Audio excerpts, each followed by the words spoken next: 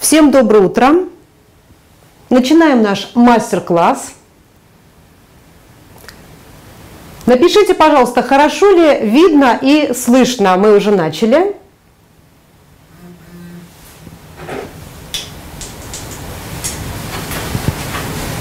Давайте проверим. Так. Смотрите, вот я пока не вижу, что э, реагирует, как, что зал? Идет. Идет, да? А как вы это увидели?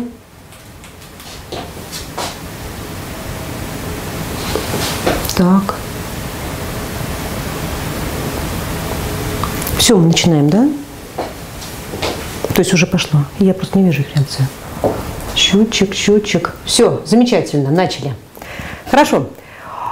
Друзья, приветствую всех. Приветствую абитуриентов, которые в этом году сдают ЕГЭ. Приветствую своих коллег, учителей и репетиторов. Всех поздравляю с началом весны. Мы начинаем мастер-класс, посвященный тому, как сдать ЕГЭ на максимальные баллы. Что сегодня будет на этом мастер-классе? Первое. Я расскажу, где теряется больше всего баллов и как их не потерять. Дальше.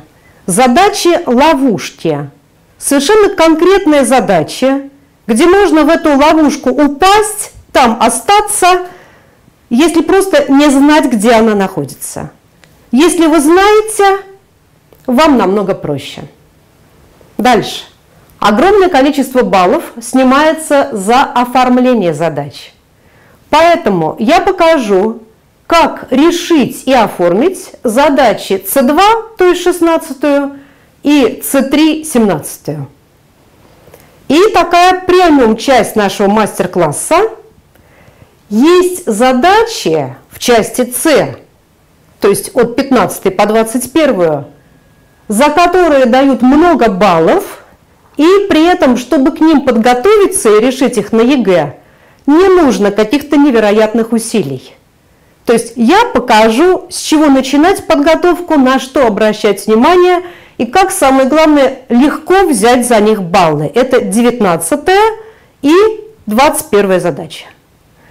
И сегодня на этом мастер-классе я дам секретные ссылки.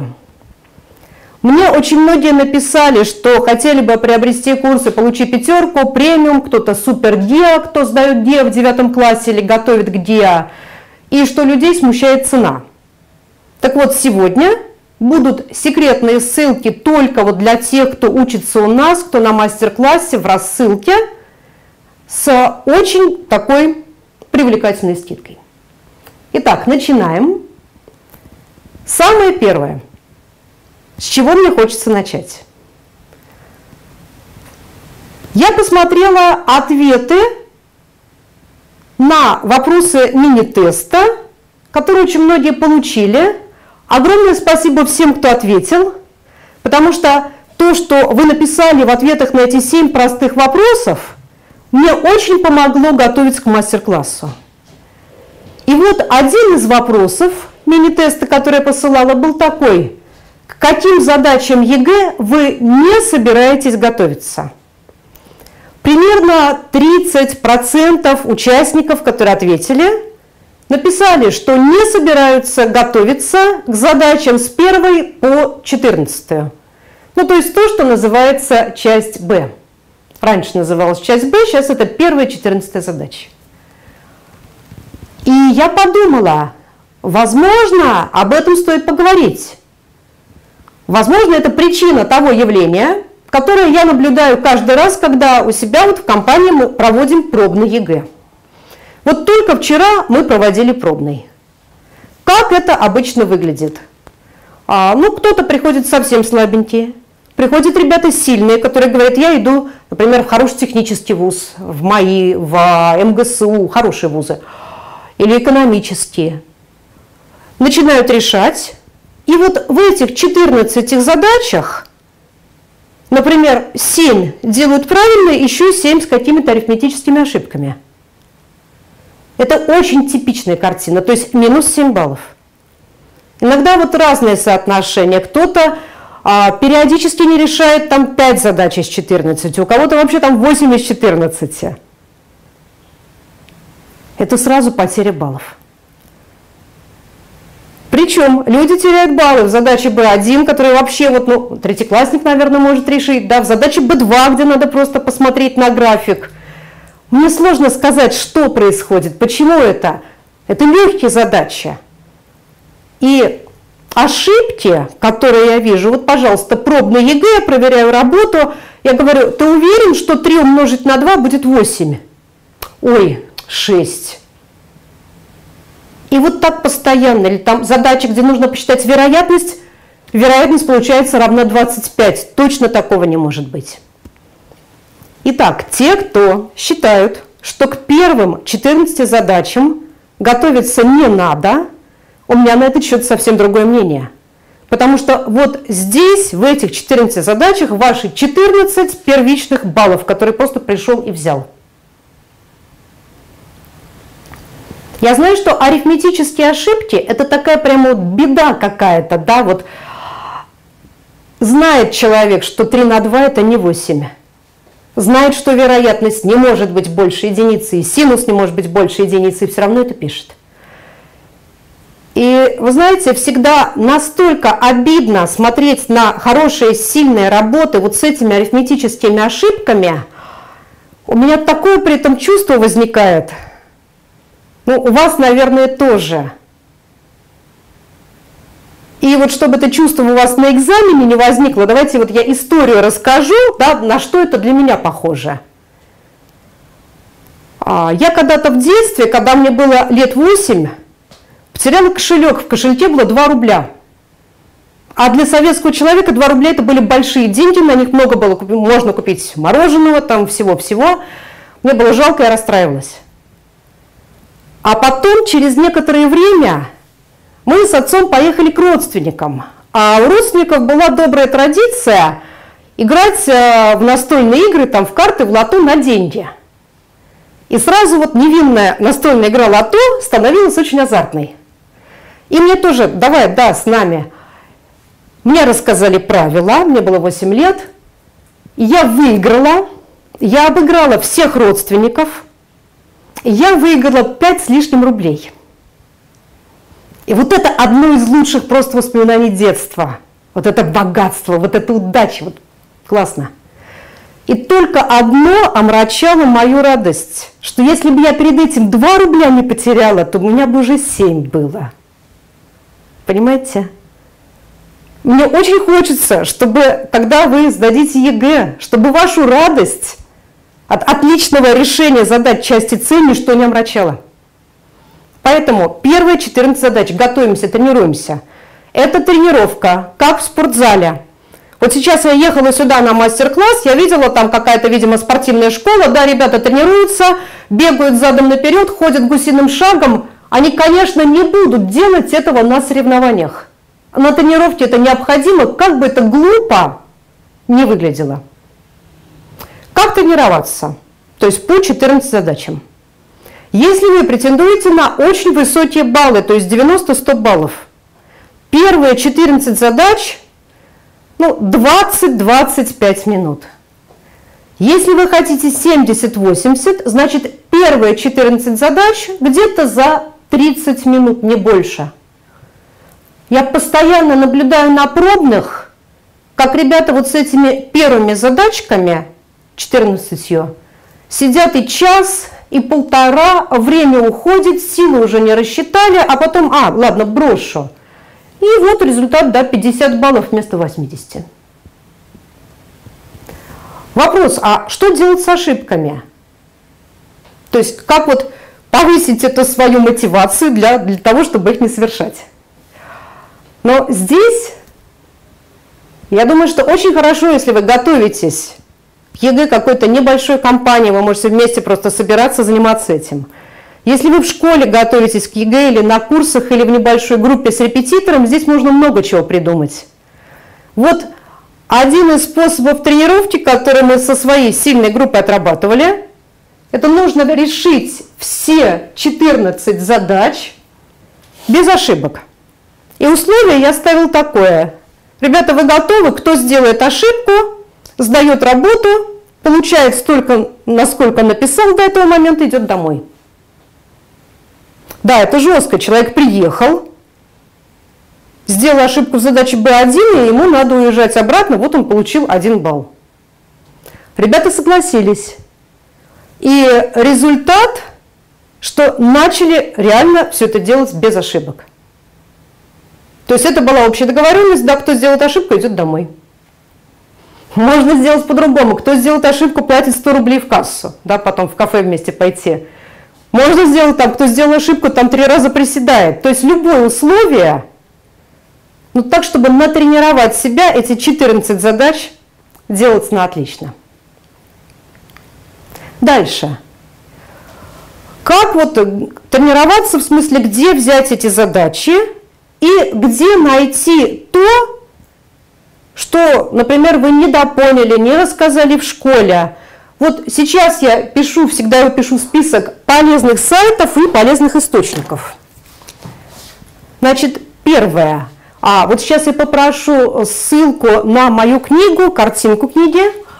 А, все участники нашего мастер-класса, кто новенькие, только что зарегистрировались у нас, раньше нас не учились, получат после мастер-класса письмо со ссылкой на мою книгу ЕГЭ 2015 по математике, полный курс подготовки. Значит, в этой книге фактически решение всех первых 14 задач. Если вы у нас уже учитесь, уже получаете, например, письма нашей рассылки, книгу эту не получили, да, я пишу книга. Так, вот это а, ссылочку можно будет, да, на книжку? А, есть уже, хорошо. Сейчас вы увидите ссылку, где можно подписаться и как книга выглядит. Когда переключаешь на картинку, не Значит, моя книга, да, ЕГЭ 2015 по математике, полный курс подготовки. Там вот с первой по 14 задачи есть фактически все. Книга бесплатная. Кроме нее, в этом письме, которое получаете после мастер-класса, будет видео, полный курс теории вероятности на ЕГЭ по математике – и будет набор необходимых шпаргалок. Потому что огромное количество баллов теряется из-за того, что забыли формулу объема конуса, площади поверхности сферы, объема пирамиды, там площади параллелограмма. Просто выучить. Хорошо, книга. Следующее. Сами задачи. Я очень рекомендую сайт «Решу ЕГЭ» .ру. Я сама им пользуюсь. Там замечательные подборки задач, можно брать по темам, можно составлять себе варианты любой сложности и тренироваться столько, сколько надо. Более сложный это Алекс Ларин. .net. И я не рекомендую официальный сайт ФИПИ, потому что на сайте ФИПИ все задания настолько перепутаны, что пользоваться ими мне, например, невозможно. Там просто все в перемешку, там и B1, и C6, без всякой логики, я не знаю, как э, этим пользоваться. Есть проверенные, хорошие сайты, по которым уже тысячи абитуриентов до вас подготовились.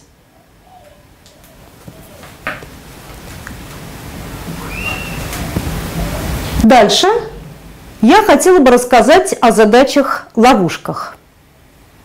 Что это такое?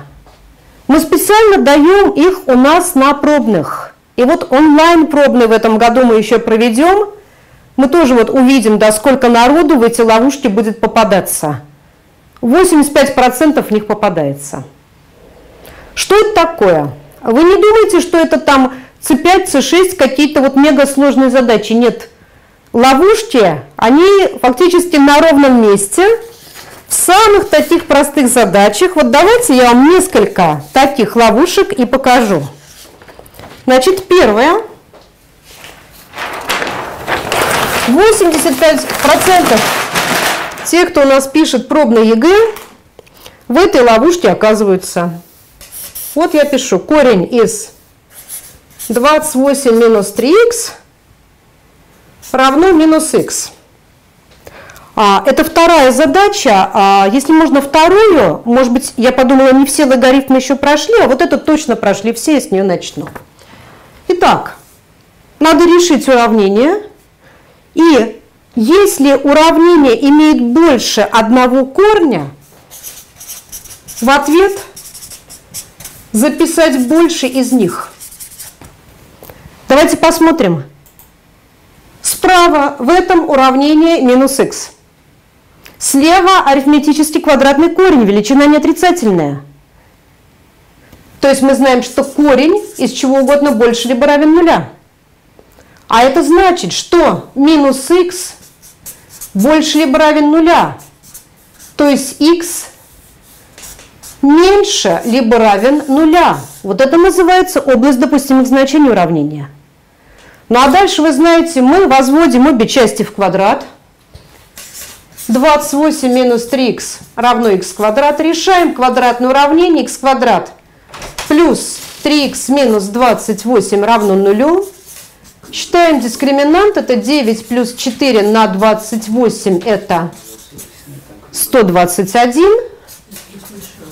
Находим корни минус 3 плюс-минус 11 пополам. И смотрите, самое интересное, х первый получается минус 3 минус 11 пополам минус 7. х второе минус 3 плюс 11 это 8 пополам 4. Смотрите, в ответ запишите больший корень. Где здесь ловушка? А когда начинают выбирать из этих корней, берут больше 4, пишут его в ответ. Ну, посмотрите, пожалуйста, разве это корень? Ведь по условию x меньше либо равен нуля, поэтому 4 здесь посторонний корень. Мы не можем его писать в ответ. Если мы 4 сюда будем подставлять, мы получим, что корень квадратный равен отрицательному числу, а так не бывает по определению квадратного корня. Значит, корень здесь 1, вот он, минус 7. Похожая задача я сейчас покажу. Я очень надеюсь, что все, кто сдает в этом году ЕГЭ, уже знакомы с логарифмами. Я знаю, что в некоторых школах программа такая, что логарифмы проходят поздно. Тогда опережайте, да, сами узнавайте, что это такое, потому что остается три месяца до ЕГЭ, и уже нужно знать все темы. Так вот, это первая задача, поставьте, пожалуйста, логарифм по основанию x минус 5 от 49 равно 2. Ну, казалось бы, да, простейшая задача, только здесь x в основании логарифма, да, чуть-чуть посложнее. Что мы делаем? Мы пользуемся определением логарифма. Логарифм числа b по основанию а – это такое число c, что а в степени c равно b. То есть это показатель степени, в которую надо возвести число а, чтобы получить число b. Смотрите, показатель степени, в которую возвели а, чтобы получить b. При этом мы знаем, что логарифмы определены для положительных чисел b больше нуля. Основание логарифма а больше нуля и не равно единице. Просто пользуемся определением. Основание x минус 5 квадрат возвели, получили 49. Ну и при этом должно быть, что x минус 5 больше нуля и x минус 5 не равно единице. Значит, x минус 5 в квадрате равно 49. Значит, мы получаем, что x минус 5, я немножко быстрее да, сейчас показываю, пропускаю там одно еще преобразование, сами можете его сделать.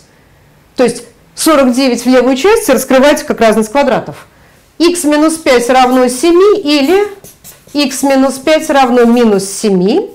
При этом x, смотрите, должен быть больше 5. И x минус 5 не равно единице, значит x не равен 6. И тогда мы получаем, что x первый это 12, а x второй, это сколько у нас там, минус 7, плюс 5 это минус 2. Что мы можем сказать? А то, что x должен быть больше 5, поэтому x равный минус 2 не подходит. То есть это уравнение имеет один корень. И вот смотрите, такое уравнение. А в условии задачи сказано, что если уравнение имеет больше одного корня, в ответ запишите меньший из них. И большинство абитуриентов в ответ пишет минус 2. Это не корень. Минус 2, минус 5 отрицательное число основания логарифма не может быть отрицательным. Совершенно стандартная ловушка. Как в эту ловушку не попасть? Просто проверяем себя. А что я вижу? Я вижу логарифм. Да, логарифм определен для положительных чисел. Основание логарифма больше нуля и не равно единице. И вообще я рекомендую так проверять себя, решая каждую задачу. Потому что, например, задача вот B1. Знаете, вот самые-самые простые там. Сырок стоит 3 рубля 50 копеек, сколько сырков можно купить на 40 рублей? Вот ерунда, да, третий класс. И знаете, сколько народу там ошибается? И как ошибается? Вот несколько примеров сейчас покажу, как люди ошибаются в задаче B1. Это просто здравый смысл. Там, например, есть задача, где рост Джона 5 футов и 85 дюймов, и сказано, сколько в одном футе дюймов, и нужно, нет, сказано, сколько в одном футе метров, и сколько в дюйме метров, и выразить рост Джона в метрах. Ну, наверное, по условию задачи Джон – это человек. И когда получается ответ – что рост Джона 284 метра, стоит проверить этот ответ с точки зрения здравого смысла. Другая задача. Получают, а, вот это не в B1, это в B13 в задаче на движение. Скорость лодки 3500 км в час. Если 3500 км в час, это не лодка, это боевой истребитель. Тоже, значит, есть задача, называется задача с практическим содержанием. Это там посчитать какую-то стоимость заказа, там какой-то самый дешевый тариф, это четвертая задача. А, и вот у нас был яркий пример, да, можно, конечно. Яркий пример у нас был, вот это четвертая задача, а, там а, содержание было такое, что Иван Иванович строит у себя на даче сарай, для этого он покупает два мешка цемента по такой-то стоимости – покупает 20 бетонных блоков по 200 рублей, в общем, строит все это и посчитает, сколько строит, стоит его сарай. Так вот, у нас был ответ, что сарай Ивана Ивановича стоит 17 миллиардов 532 миллиона 285 тысяч рублей. Вопрос, что же он строил там у себя на даче? Здравый смысл. То есть получили ответ, да, обязательно проверяем – я покажу еще менее, менее очевидный случай, когда просто себе можно задать вопрос, а что это, что у меня получилось? Проверить и понять, что что-то здесь не то. Дальше. Вот сейчас еще давайте несколько таких ловушек я хочу показать. Значит, первая ловушка, да, это алгебра. Это когда в простых задачах части b какое-то там условие, что записать наибольший или наименьший корень из двух, и пишут то, что не является корнем.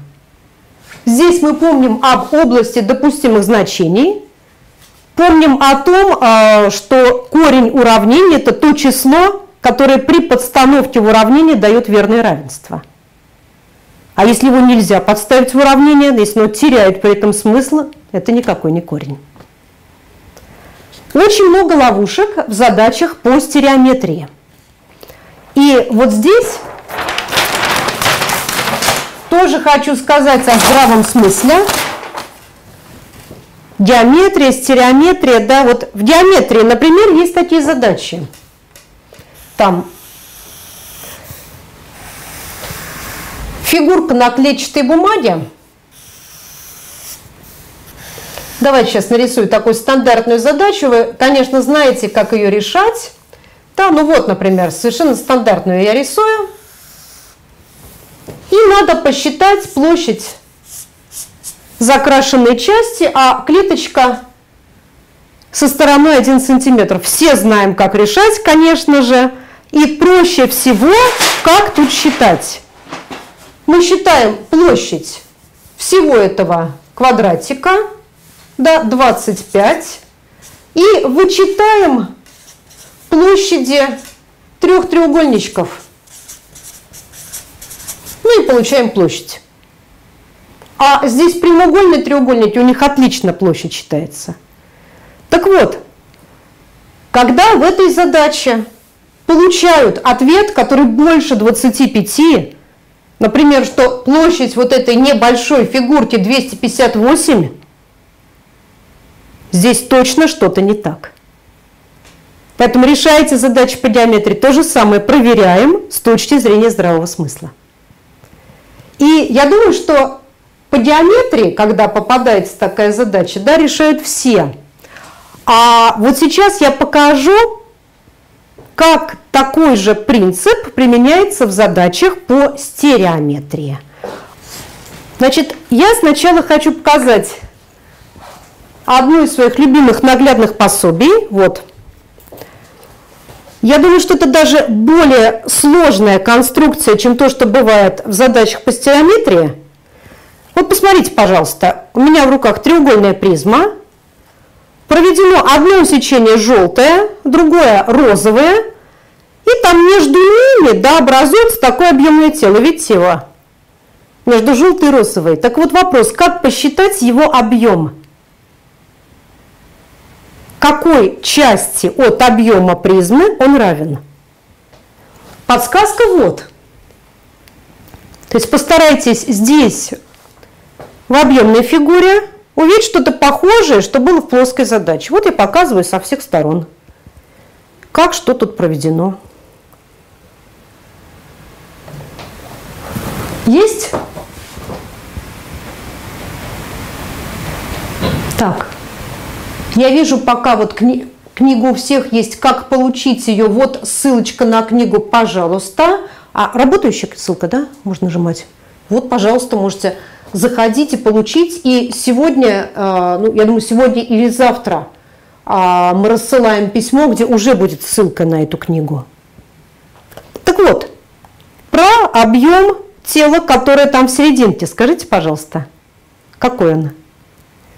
Какую часть от объема всей призмы он составляет?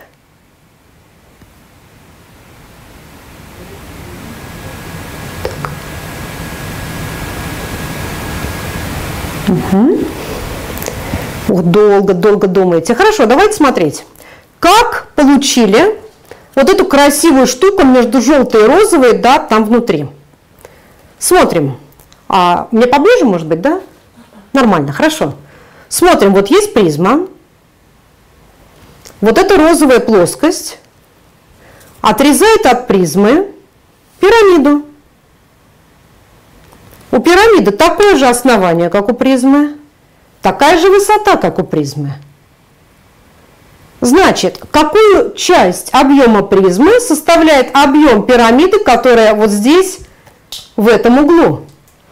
Давайте вспомним формулу, что объем призмы это S основание на высоту. А объем пирамиды это 1 треть S основания на высоту. Если здесь одинаковое основание, одинаковые высоты, значит объем пирамиды в этом углу это 1 треть объема призмы. Отлично, здесь 1 треть. Так, посмотрим, что с этой стороны. То есть что под желтой вот этой частью плоскости находится? Такая же пирамида, тоже 1 треть объема призмы. Вот отрезали одну, отрезали вторую, осталось как раз то, что там внутри между желтой и розовой плоскостями. Значит, 1 минус 1 треть минус 1 треть, получаем 1 треть, то есть между желтой и розовой, 1 треть объема призмы. А вот теперь представьте себе, что мы бы этого не делали и решали эту задачу как-то по-другому. То есть смотрели бы, что там за объемное тело, где у него основание, где высота. Получилась бы сложная задача по стереометрии. Я сейчас покажу прямо настоящие задачи ЕГЭ, в которых это применяется. Вот мне шестую нужно будет сейчас и седьмую. Так, шестую. Можно будет. Хорошо, я пока читаю, пока она сейчас появится. Задача такая. Объем параллелепипеда А, Б, С, Д, А1, Б1, С1, Д1 равен 6. Найдите, это шестая, найдите объем треугольной пирамиды А, Б, С, B1. Я сейчас это нарисую. Хочу большой чертеж, чтобы там все было хорошо видно.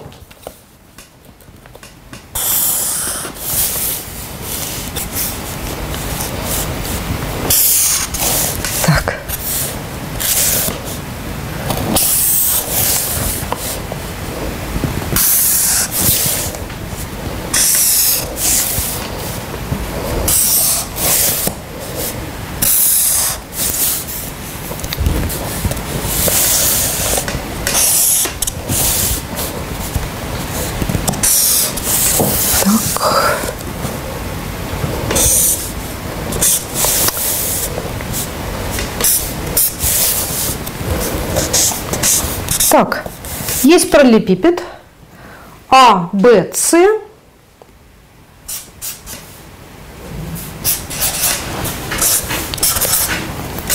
А1, Б1, С1, Д1. А мне надо, я сейчас другим цветом покажу, объем пирамиды А, Б, С, Б1. Раз мы делаем, два, 3 и соединяем с B1. Это внутри у меня. Так, это с А соединяем, видно. Это здесь. Вот объем этой пирамиды. Ну, теперь мы уже знаем, как считать, да? То есть эта пирамида является частью параллелепипеда. Мы видим, что у них одинаковые высоты, а вот основание пирамиды во сколько раз меньше, чем основание параллелепипеда? Мы видим, что треугольник ABC, площадь треугольника ABC – это половина площади параллелограмма ABCD. Значит, здесь будет S пополам, здесь будет высота такая же. То есть объем пирамиды будет равен 1 треть на S пополам на H – то есть будет равен 1 шестой объема параллелепипеда. И если объем параллелепипеда это 6, то объем А, Б, С, В1 в 6 раз меньше единицы. Смотрите, какая простая задача. Где здесь ловушка? Не замечают, как связаны объем пирамиды, объем параллелепипеда пытаются считать какими-то другими способами. Например, вот эту плоскость берут за основание АБ1С и получают задачу очень сложную. Еще сейчас одно покажу. Это уже следующий уровень. А следующая седьмая. Так. Хорошо. Итак, следующее. Объем параллелепипеда а, Б, С, Д, А1, Б1, С1, Д1 5,1. Найдите объем треугольной пирамиды А, Д1, С, B1. Ну, давайте сделаем. Я рисую параллелепипед.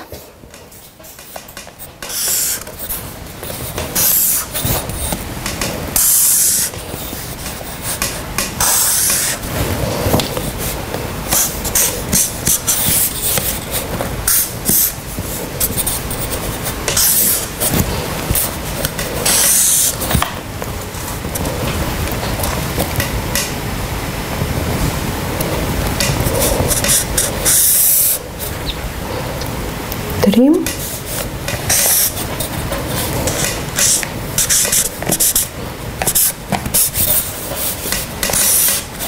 Так.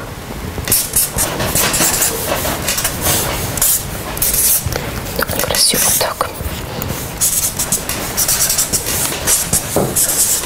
Так, мне нужен объем пирамиды А, D1, CB1, А, D1, С, B1. Давайте мы построим. Так, соединяем. Раз. Дальше. Соединяем с D. Соединяем с С. И соединяем с Б. Так. О, какая интересная вещь у меня получилась. Вот задача, которую очень немногие решают. Посмотрите, треугольная пирамида, про которую нас спрашивают, находится внутри параллелепипеда. И все ее грани расположены под углом к граням параллелепипеда. И, конечно, мы можем да, вот взять за основание АДЦ, АД1С, а, сложным способом находить высоту. Вы представьте себе, что получится. А можем сделать проще. Давайте посмотрим, как эта красная пирамида там внутри может получиться из параллелепипеда.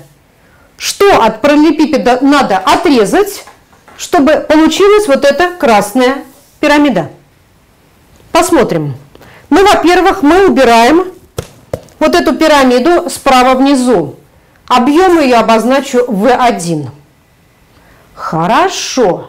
Теперь я вижу, что вот пирамиду, которой основание B1, D1, C1, и вот туда она вниз идет, да, вот это справа вверху, вот V2, ее тоже убираем.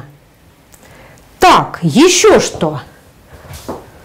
Здесь я вижу пирамиду А, Б, С, B1 вот она. Так, ее мы тоже убираем. Это В3. Посмотрим, все ли мы учли. Все ли у нас здесь есть один, другой, третий. По-моему, там еще что-то должно быть. Что-то мне так кажется. Так, я знаю, что еще. Посмотрите, пожалуйста, вот я взяла параллелепипед. Мне нужно из него вырезать эту красную пирамиду. Я отрезаю пирамиду справа внизу раз. Дальше пирамиду вот эту вот справа вверху два. Теперь вот здесь вот слева внизу, вот она немножко сзади там будет, да, А, Б, Б1, С, третья. И еще какая? А еще та, которая вот передо мной, вот у нее вершина в точке А, это четвертая. То есть от параллелепипеда я отрезаю 4 одинаковых пирамидки. Вот здесь, как только вы это увидите, можно порисовать несколько картинок разными цветами, поймете это. А чему равен объем каждой пирамиды? Давайте посмотрим. Вот, например, V1. Чему он равен? Он равен половине основания параллелепипеда.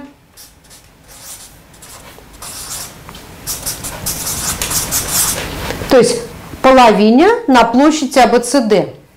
Умножить на высоту параллелепипеда, ну и умножить на одну треть, да, поскольку объем пирамиды это одна треть с основания на высоту. Получили? То есть V1 это 1 шестая объема параллелепипеда, как в предыдущей задаче. В2 то же самое, да, такая же пирамидка, только перевернутая. Тоже одна шестая объема параллелепипеда. В3 и В4 каждый по одной шестой объему параллелепипеда. И тогда объем вот этой пирамиды, сложно расположенный там внутри, будет равен v минус 4 шестых v, то есть это 2 шестых v, то есть 1 треть v, 5,1 десятая. Мы делим на 3, получаем ответ 1,7. Задача ловушка. Нужно знать, что делать. То есть, как найти объем сложно расположенного тела, как разность объемов. Я очень много рассказываю в таких, о, о таких задачах в своем курсе «Стереометрия на ЕГЭ по математике».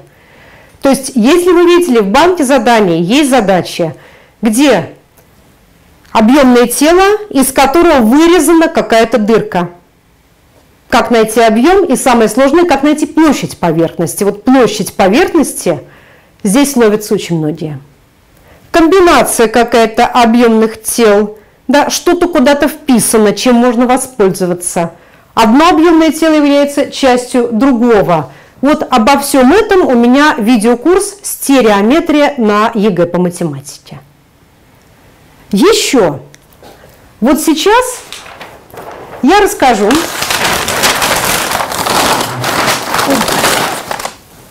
Сейчас постараюсь поаккуратнее вот туда поставить я расскажу еще об одной ловушке в задачах по стереометрии. Причем встречается она в каждом втором варианте ЕГЭ. Очень часто, очень много таких задач. Сначала я вам это покажу на модели. Итак, вот у меня есть красивая пирамида, а у нее, оп, и сверху, как крышечка, снимается такая маленькая пирамидка. Так вот, ну, давайте мы для простоты будем считать, что у маленькой пирамидки все ребра в три раза меньше, чем у большой. Во сколько раз площадь поверхности маленькой пирамидки меньше, чем площадь поверхности большой, и во сколько раз объем маленькой пирамидки меньше объема большой. Итак, отношение длин ребер равно 3. Ну, то есть ребра большой в три раза больше, чем ребра маленькой. Давайте запишу это. Значит, пускай будет А это боковое ребро большой пирамиды.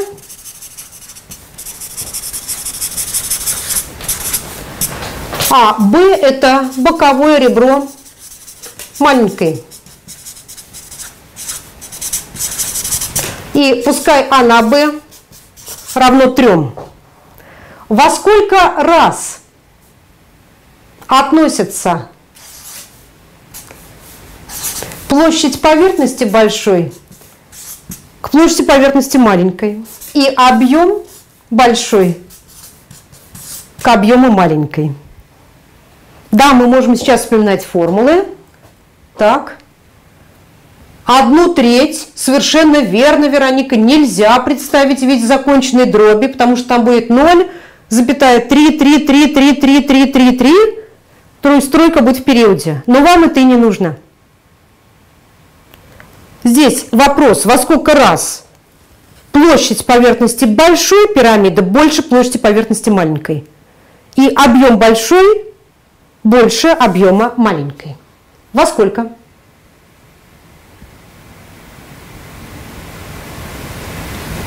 А в задании, вы знаете, в задании будут спрашивать так, чтобы у вас в ответе было либо целое число, либо конечная десятичная дробь.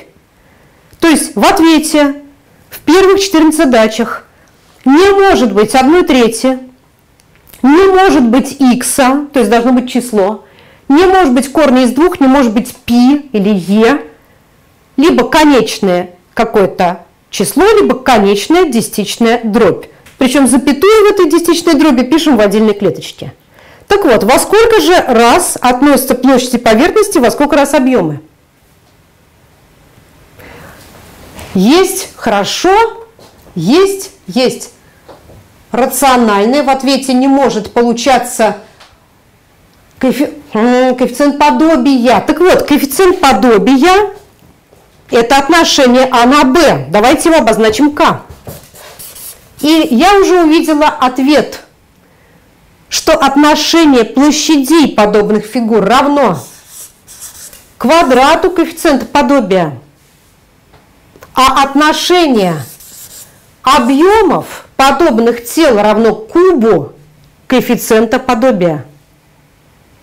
И если коэффициент подобия это 3, тогда площадь поверхности большой пирамиды относится к площади поверхности маленькой пирамиды как k в квадрате. 3 в квадрате, то есть как 9 к 1. Здесь мы получаем 9, а отношение объемов 27.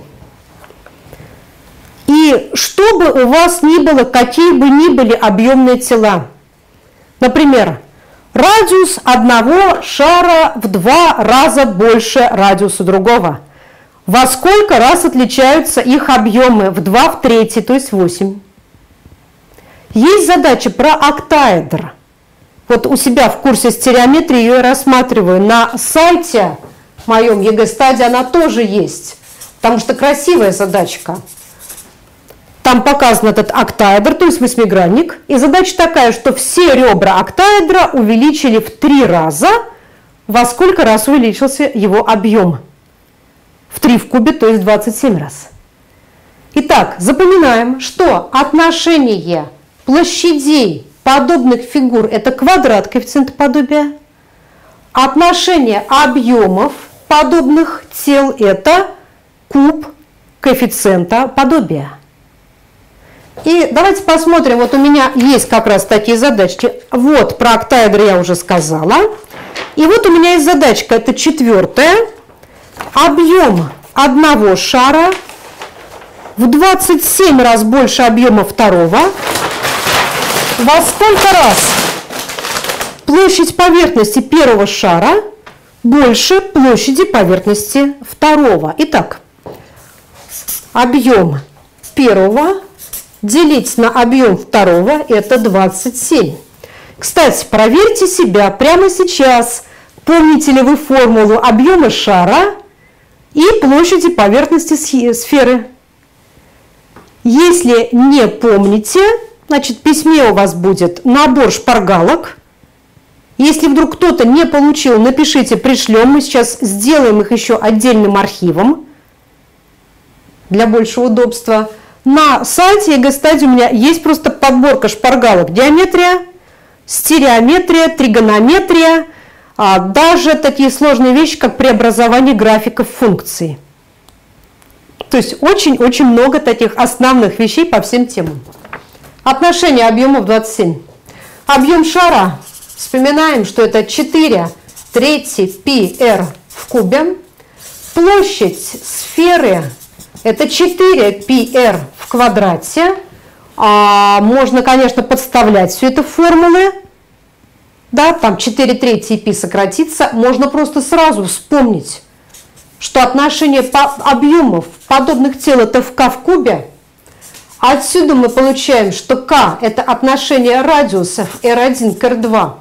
Это 3, 3 в кубе 27. И отношение s1 к s2 это будет k квадрат, то есть 9. Все. Смотрите, как быстро эти задачи решаются. Где здесь ловушка? Ну, либо просто пишут, что во столько же раз, что все одинаково, конечно, будет ошибка, либо начинают долго все это подставлять формулу, считать, там забыли сократить, и просто теряют на этом время, иногда теряют баллы. И Теперь еще несколько таких интересных задач хочу рассказать. Вот сейчас я расскажу про самую традиционную ловушку в вариантах ЕГЭ. Ее придумали еще, вот когда ЕГЭ появился в этом формате, как сейчас, да, 2009 год, До этого была часть А с выбором ответа, была часть Б и еще была С более сложная, чем сейчас. То есть 9, 10, 11, сколько лет уже, и люди все равно в эту ловушку попадаются. А связана она с понятиями функции производной. Итак, на рисунке изображен график производной функции f от x, определенной на интервале от минус 9 до 8. В какой точке отрезка от минус 8 до минус 4 функция f от x принимает наименьшее значение? Почти в каждом варианте ЕГЭ. Задача на производную вот такого типа. Это восьмая задача. Иногда там встречаются задачи, которые просто на определение производной как тангенс угла наклона касательной. А мы помним, что производная функции в точке x0 равна угловому коэффициенту касательной, проведенной в этой точке, равна тангенсу угла наклона касательной. Кто вдруг не помнит, пожалуйста, ко мне на сайт заходите. Там есть раздел «Бесплатные материалы». И там у меня есть лекция, просто находится там математика производная. Лекция на тему производная. Ну, либо просто на YouTube производная. Можете просто на YouTube ее найти. Так вот, вот эта задача. Даже если человек знает, что такое производная, знает эту формулу, может вообще там дать определение производной там через предел там превращения функции к превращению аргумента, все равно ошибается. Потому что не очень внимательно читают условия. Давайте прочитаем. На рисунке изображен график производной функции f от x определенный на интервале от минус 9 до 8. В какой точке отрезка от минус 8 до минус 4 функция принимает наименьшее значение? Итак, здесь, на этом рисунке, нарисована производная. Это ее график. А спрашивают нас про функцию. И функция здесь не нарисована. Понимаете, когда здесь есть производная? Но дело в том, что производная дает информацию о поведении функции. Зная, как себя ведет производная, мы что-то можем сказать о функции, причем очень много. Итак, у нас интервал от минус 9 до 8. Вот она функция от минус 9 до 8 какой точке отрезка от минус 8 до минус 4 функция принимает наименьшее значение? Где ловушка? Ловушка, когда человек либо не прочитал, либо не, не знает особенно, что искать, или не понял, он решил, что они там одно и то же, и функции производная. Так, наименьшее значение, что тут вот эта точка самая низкая, и ее пишут в ответ. Нет, это не она. То есть не в этой точке будет наименьшее значение функции. Давайте посмотрим. Итак, в какой точке отрезка от минус 8 до минус 4 функция принимает наименьшее значение? Кстати, может быть, именно здесь и совпадет. Мы сейчас проверим. Что должно быть на самом деле? На отрезке от минус 8, ой, от минус 8 до минус 4. Смотрим, какая будет производная. Так, минус 4, минус 8. Я могу просто у себя отметить этот отрезок. Какая здесь производная? Нарисована производная. На этом отрезке она отрицательна. Значит, f' от x меньше нуля. Если производная меньше нуля, то что будет с функцией? Значит, на этом отрезке функция убывает. То есть график ее на этом отрезке идет вниз. В какой точке будет наименьшее значение. Вот если здесь точка минус 8, здесь минус 4, функция убывает, наименьшее значение в точке минус 4. И вот тут задачу я выбрала такую, ну, случайно на самом деле выбрала, что если бы вы просто сказали ту точку, где самое маленькое значение производной, вы бы угадали. А решение было бы неправильное. Потому что если я сейчас по-другому поставлю вопрос, в какой точке отрезка от минус 8 до минус 4 функция принимает наибольшее значение? Как вы думаете? Функция убывает на отрезке от минус 8 до минус 4, где будет наибольшее значение? Вот, в точке минус 8. То есть здесь нарисована производная, а нам нужно восстановить такой эскиз графика функции. Значит, f наименьшее от x это f от минус 4, f наибольшее от x это f от минус 8. Мы смотрим на то, как ведет себя функция, и тогда уже выбираем ответ. Минус 8, минус 8. Хорошо. И вот теперь 14 задача. Это тоже задача на производную. И кому-то она кажется даже проще, чем предыдущая, потому что в ней мы будем применять таблицу производных, а таблицу производных, как правило, учащиеся знают хорошо. То есть выучили, ну и все в порядке. Кстати, иногда еще вот в этой задаче номер 8 встречаются первообразные. Их очень мало в ЕГЭ, но они там есть. Поэтому вот у меня есть видеокурс «Алгебра на ЕГЭ по математике», это из комплекта «Получи пятерку». И там есть и про производную, и про первообразную. Там вот это все есть. Дальше. Четырнадцатая задача. И вот это уже серьезная ловушка. Потому что то, что школьники знают про производную, они пытаются здесь применить, и ничего не получается.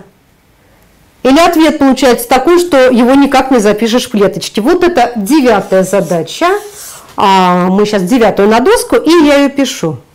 Найдите наибольшее значение функции y равно 10 синус x минус 36 делить на π x плюс 8 на отрезке от минус 5π на 6 до нуля. Найти надо наибольшее значение этой функции. Но я думаю, что все знают, что делать в такой задаче. Первое, надо брать производную. Берем производную. 10 синус х, 10 постоянный множитель, от синуса производная косинус – минус 36 делить на π, от x производная единица, от восьмерки производная 0. Есть. Дальше тоже все знают, что этот шаг надо делать. Делают, переравнивают производную к нулю. Для чего? А для того, чтобы найти возможные точки максимума или минимума функции. Потому что наибольшее значение функции на отрезке может достигаться либо в точке максимума, либо на одном из концов отрезка, может быть, даже на обоих, либо на концах отрезка, так скажем. Значит, приравниваем производную к нулю. 10 косинус х минус 36 делить на π равно нулю. Косинус х равен 36 делить на 10π. Так, что с этим делать? Давайте посмотрим. Пи – это примерно 3,14 если мы умножим на 10, то получится число, которое меньше, чем 36. Если мы 36 на это число будем делить, то у нас будет результат больше единицы. А косинус не может быть больше единицы. И вот в этот момент многие сдаются. Они говорят, все, косинус больше единицы, решения нет, задачу решить невозможно, они ее оставляют, и вот, пожалуйста, потеряли балл. Что на самом деле здесь нужно сделать? Смотрим. 10 косинус х минус 36 делить на π. Я могу сказать, что 36 делить на π точно больше 10. Согласны? Ну, потому что π это примерно 3,14. Да? Даже 36 мы делим на 31,4 точно больше 10. Итак, из меньшего мы вычитаем больше, ведь косинус х меньше либо равен 10. Ой, косинус х меньше либо равен единице. И тогда 10 косинус х меньше либо равно 10. Из меньшего вычитаем больше. Какой тогда мы получим результат? Отрицательный. То есть мы получаем, что производная функции меньше нуля на всем этом отрезке. Производная меньше нуля. Значит, что делает эта функция? Если на отрезке у нее производная отрицательная, значит функция на этом отрезке, я очень условно рисую, да, она, наверное, не так себя ведет. Я просто показала, что функция на этом отрезке убывает. И тогда в какой же точке будет достигаться ее наибольшее значение. Вот оно, в крайней левой точке промежутка. И это означает, что f наибольшее от x это f, значение функции в крайней левой точке, в минус 5π на 6. Подставляем f от минус 5π на 6, да, нам нужно подставить. Получается 10 на синус минус 5π на 6. Давайте вспоминать. Синус 5 π на 6 это 1 вторая. А синус минус 5 π на 6 это минус 1 вторая. Значит, минус 10 вторых я напишу. Дальше минус 36 делить на π и на х. То есть на 5 π на 6 умножаем. π на 6. И еще плюс 8. А, я получаю минус 5. Так, здесь у меня, о, как хорошо, у меня сокращается π. 36 делим на 6, это получается 6 на 5, это 30, плюс 30, плюс 8. Минус 5 плюс 8, это 3, плюс 30, ответ получается 33, посчитали. Такой же там, да? Проверьте, пожалуйста. Так, а что у вас? 33, хорошо.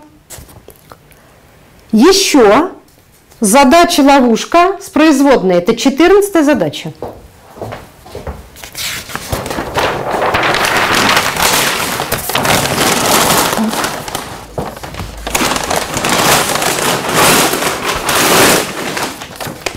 Но здесь вот следующая задача, еще более крутая ловушка. Итак, найдите, это десятая, наибольшее значение функции y равно 28 тангенс x минус 28x плюс 7π минус 8 на отрезке от минус π на 4 до π на 4. Вот я думаю, что это самое сложное, что бывает в задаче 14. Потому что все попадаются. Так, что меньше нуля? А, значит, Настя, почему меньше нуля? Мы просто оценили. А, так, Наталья, сейчас отвечу. Значит, насчет того, почему производная меньше нуля. Сейчас я даже покажу этот момент, еще раз он важный. Смотрите мы постарались найти, где производная равна нулю. То есть написали уравнение, производная равна нулю, попробовали его решить, получили косинус х от 36 делить на 10π. π примерно 3,14. Ага, косинус больше единицы, нет решений. Если нет решения, значит производная нигде здесь не равна нулю. Нигде, вот ни в одной точке этого промежутка она нулю не равна. Значит, она либо больше нуля, либо меньше. Можно, даже не две, можно любую точку с этого промежутка взять, 0, например, подставить и узнать, что да, она меньше нуля. То есть получается 10 минус 36 делить на π меньше нуля. Можно оценить, что 10 косинус х это меньше 10, 36 делить на π это больше 10, 10 косинус х меньше либо равно 10 вернее. Да, и 36 делить на π больше 10, мы из меньшего вычитаем больше, получаем отрицательное число. А вот сейчас я вижу еще один ответ. Вот, ага, уже ушел.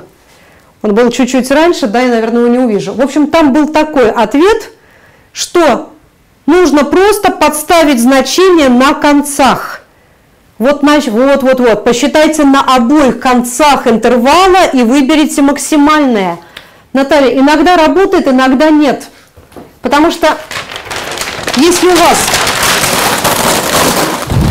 функция вот такая, сейчас где-то синий, если функция у вас возрастающая, пожалуйста, посчитали на концах и выбрали. А если функция у вас вот такая, то наибольшее значение будет достигаться не в концах интервала, а в точке максимума. Вот поэтому мы и считаем производную. Так вот, наша задача найти наибольшее значение такой функции на отрезке от минус π на 4 до π на 4. Давайте читать. Берем производную. Производная тангенса. Я надеюсь, что все помнят, это единица на косинус квадрат х минус 28. Производная от 7 пи. Вот здесь тоже многие как-то теряются, да. А что это такое? Пи это число, 7 пи это число, производная от константы равна нулю. Вот она производная. Приравниваем производную к нулю.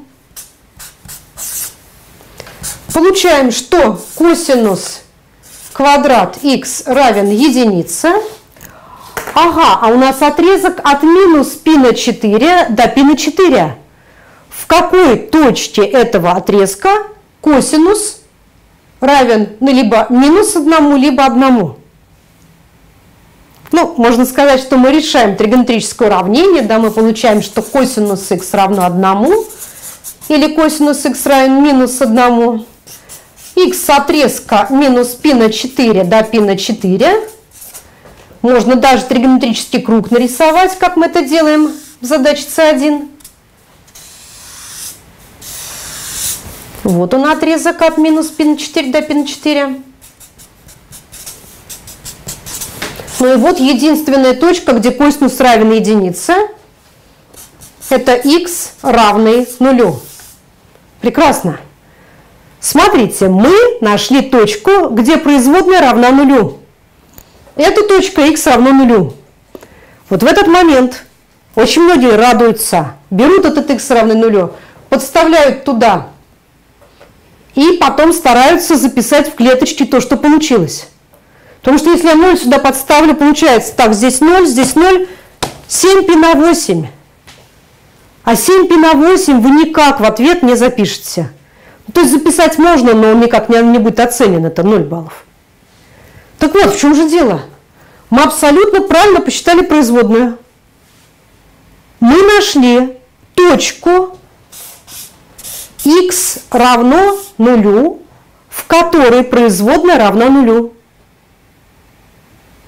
Подставить мы не можем. Что вот вы думаете по этому поводу? Что да, точку нашли, все сделали стандартно. Что это такое? Почему там производная равна нулю, а у нас ничего не получается? А давайте, кстати, проверим, какая вообще производная должна быть. Посмотрите, пожалуйста, 28 на косинус квадрат х минус 28. То есть если х равно нулю, то производная функции равна нулю. Я сейчас вот немножко другим способом сделаю, не так, как предыдущая задача. Я поставлю минус π на 4, π на 4. Если х равно π на 4, то производная, давайте подставим π на 4. Так, косинус π на 4, это корень из 2 на 2. Косинус а, квадрат π на 4, это 1 вторая, да, 28 Делим на 1 вторую минус 28, больше нуля. То есть, если x равно π на 4, производная положительная. Я просто π на 4 подставила. Если x равен минус π на 4, а я точно знаю, что получится то же самое, потому что косинус у π на 4 и минус π на 4 вообще одинаковые будет такое же значение. Значит, смотрите, что мы получили. Что? В точке 0 производная равна нулю. Здесь она положительная, здесь она положительна. То есть знак производной в точке 0 не меняется. И ни точкой максимума, ни точкой минимума эта точка не будет, хотя производная там и равна нулю. То есть до нее производная положительная, значит функция возрастает. Это вот производную я пишу, а здесь функцию. Здесь производная положительная, функция тоже возрастает. До точки 0 функция возрастала, после нее возрастает. Такая точка называется точкой перегиба. Вот сейчас я нарисую картинку.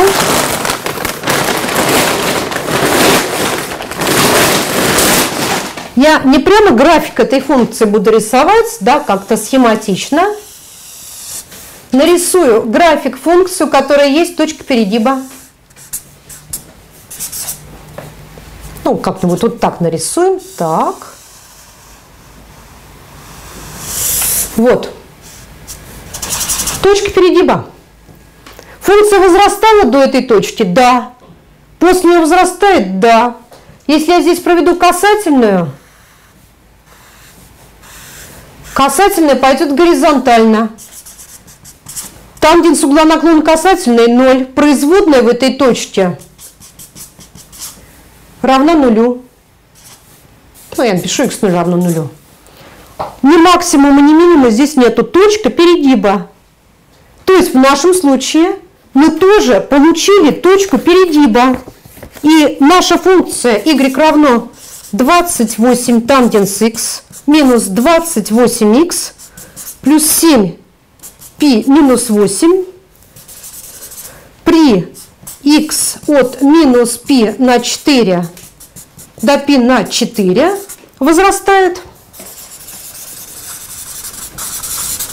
Она возрастает. А нам нужно ее наибольшее значение. Функция возрастает. В какой точке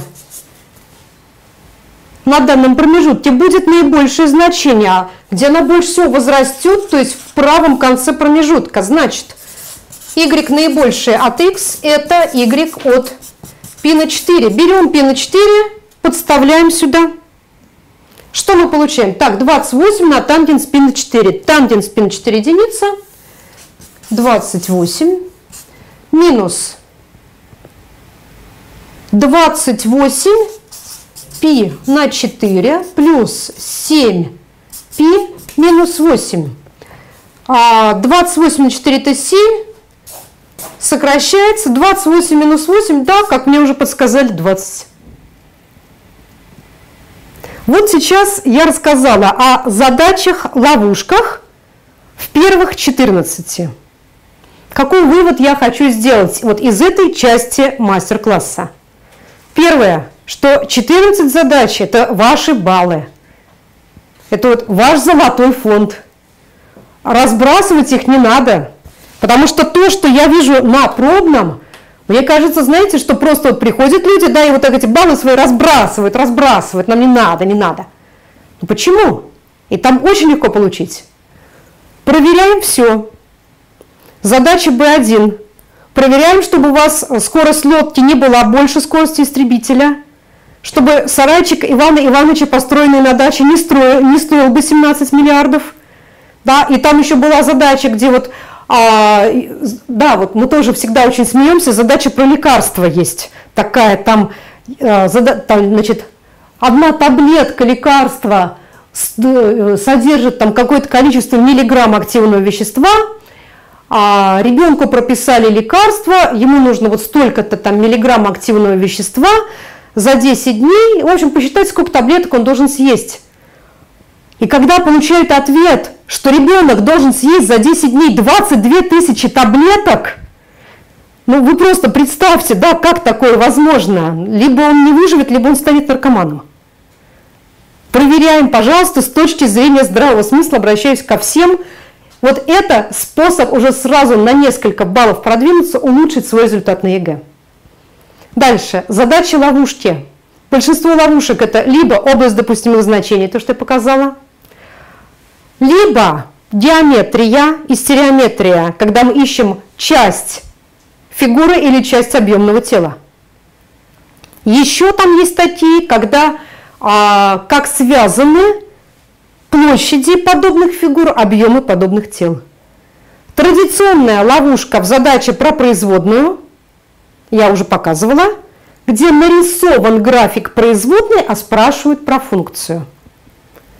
А иногда бывает ловушка еще следующего уровня, да, следующий level. То есть там нарисована функция и спрашивают про функцию. А все уже там настроены на то, что надо искать что-то другое. То есть просто внимательно условия читаем. И вот здесь то, что я показала в задаче 14. И вот сейчас интересный момент. Мы сможем сейчас ссылки дать, да? Еще раз о том, где что брать для подготовки. Вот сейчас мы даем секретные ссылки на мои видеокурсы. А снаружи ни на сайте ЕГЭ-Студии, ни на других э, сайтах, я надеюсь, вы их не увидите.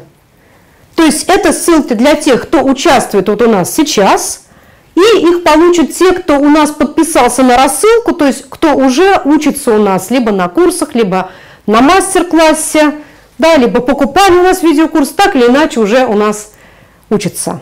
Итак, мой видеокурс «Получи пятерку» Это 5 дисков. А каждый это 2-3 часа. То есть там текстовые задачи, работа, проценты, движение по окружности, смеси, сплавы, плюс теория вероятности, геометрия. Вся геометрия первых 14 задач. Это еще и база для C2 и C4, то есть 16-18. Стереометрия очень много того, о чем я сейчас рассказывала. Тригонометрия. Кто как-то сомневается, пожалуйста, у меня вот на сайте ЕГЭ-Студии есть по тригонометрии прямо лекция, бесплатно можно посмотреть, формулы приведения, то есть как я рассказываю. Алгебра. Алгебра там все, корни, степени, показательная логарифмическая функция, все возможные виды уравнений, а, производные и первообразные. Значит, это 5 дисков, ну, либо, соответственно, 5 электронных версий. А диски это стоит 3 500 с доставкой по почте. Значит, сейчас электронная версия, там было сейчас 2 500, сейчас у вас есть возможность все 5 за 1750. А есть ссылочка, да? Так, есть, прекрасно. А картинка там тоже есть, да? Отлично. Значит, секретная ссылка действует три дня. Поэтому, если желание есть, пожалуйста, долго не тянем. Если передадите друзьям, пожалуйста. Ну, самое главное, что к концу недели там уже ничего не будет. Дальше мы сейчас продолжим. Дальше я расскажу про оформление задач в С-части. То есть оформление стереометрической задачи С2 я видела, были заявки на построение сечений. Сделаем задачу на сечение. И оформление логарифмического неравенства в С3. Вот почему-то у меня даже сильные ученики приходят на пробные или пишут э, вступительное задание ко мне на курс М100, это курс из трех интенсивов по э, С4, С5, С6 по сложным задачам. Почему-то в С3 очень хаотичное оформление. Ну, то есть непонятно, что из чего следует, да, что как связано. А если эксперт злобный, он обязательно к этому придерется. Поэтому оформление я сейчас покажу. И сегодня покажу вам задачу 19. Я думаю, что многие заинтересованы в том, как она решается. И задачу 21, где совершенно неожиданно можно взять баллы. Потому что очень много у меня было ответов вот на тот тест, который я посылала, что ни за что не будут готовиться к задаче 19, ни за что не будут готовиться к задаче 21. Почему? Там можно взять баллы, особенно в 21 задаче в С6, один или два балла можно взять без особых усилий. Но единственное, конечно, не стоит начинать с этих задач. То есть если вы пришли на ЕГЭ, вы на экзамене, представьте, это волнительная обстановка, да, вы сразу начинаете с задачи С6, которая там последняя, ну, на нее может уйти все время. Сначала вот первые 14 задач, 30, максимум 40 минут. Дальше задачи части С. По части С, то есть с 15 по 21 задаче, а, мы сейчас вторую ссылочку покажем, хорошо? Значит, с 15 по 21 у меня вот есть видеокурс премиум. Здесь у меня 6 дисков. В этом году добавился там еще один курс по 19 задаче. Так вот сейчас вторая секретная ссылка. Это на премиум. Так, ну-ка. До 19 обязательно, конечно, да. Задача поражать. Ну хорошо, пожалуйста, пожалуйста. Итак, премиум. Сейчас там не 6, там все 7 курсов. Я пишу 7 дисков, да? Это все электронная версия.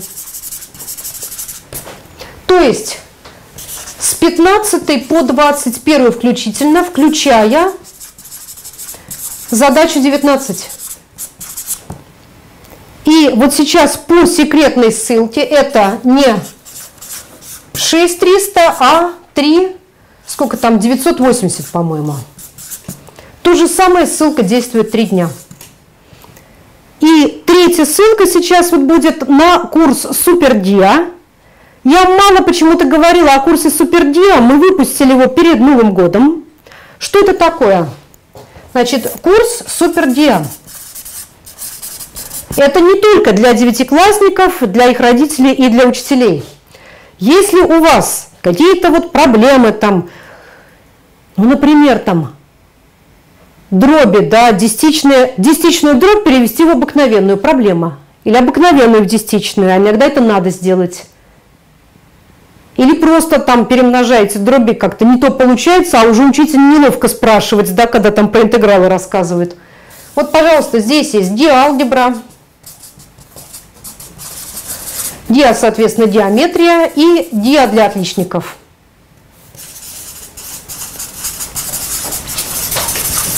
Тоже на три дня у нас ссылка будет минимальная стоимость 1305 рублей за все три диска. Вот здесь у нас получилось так, что а, у нас просто не хватало уже места на диске. Курсы объемные.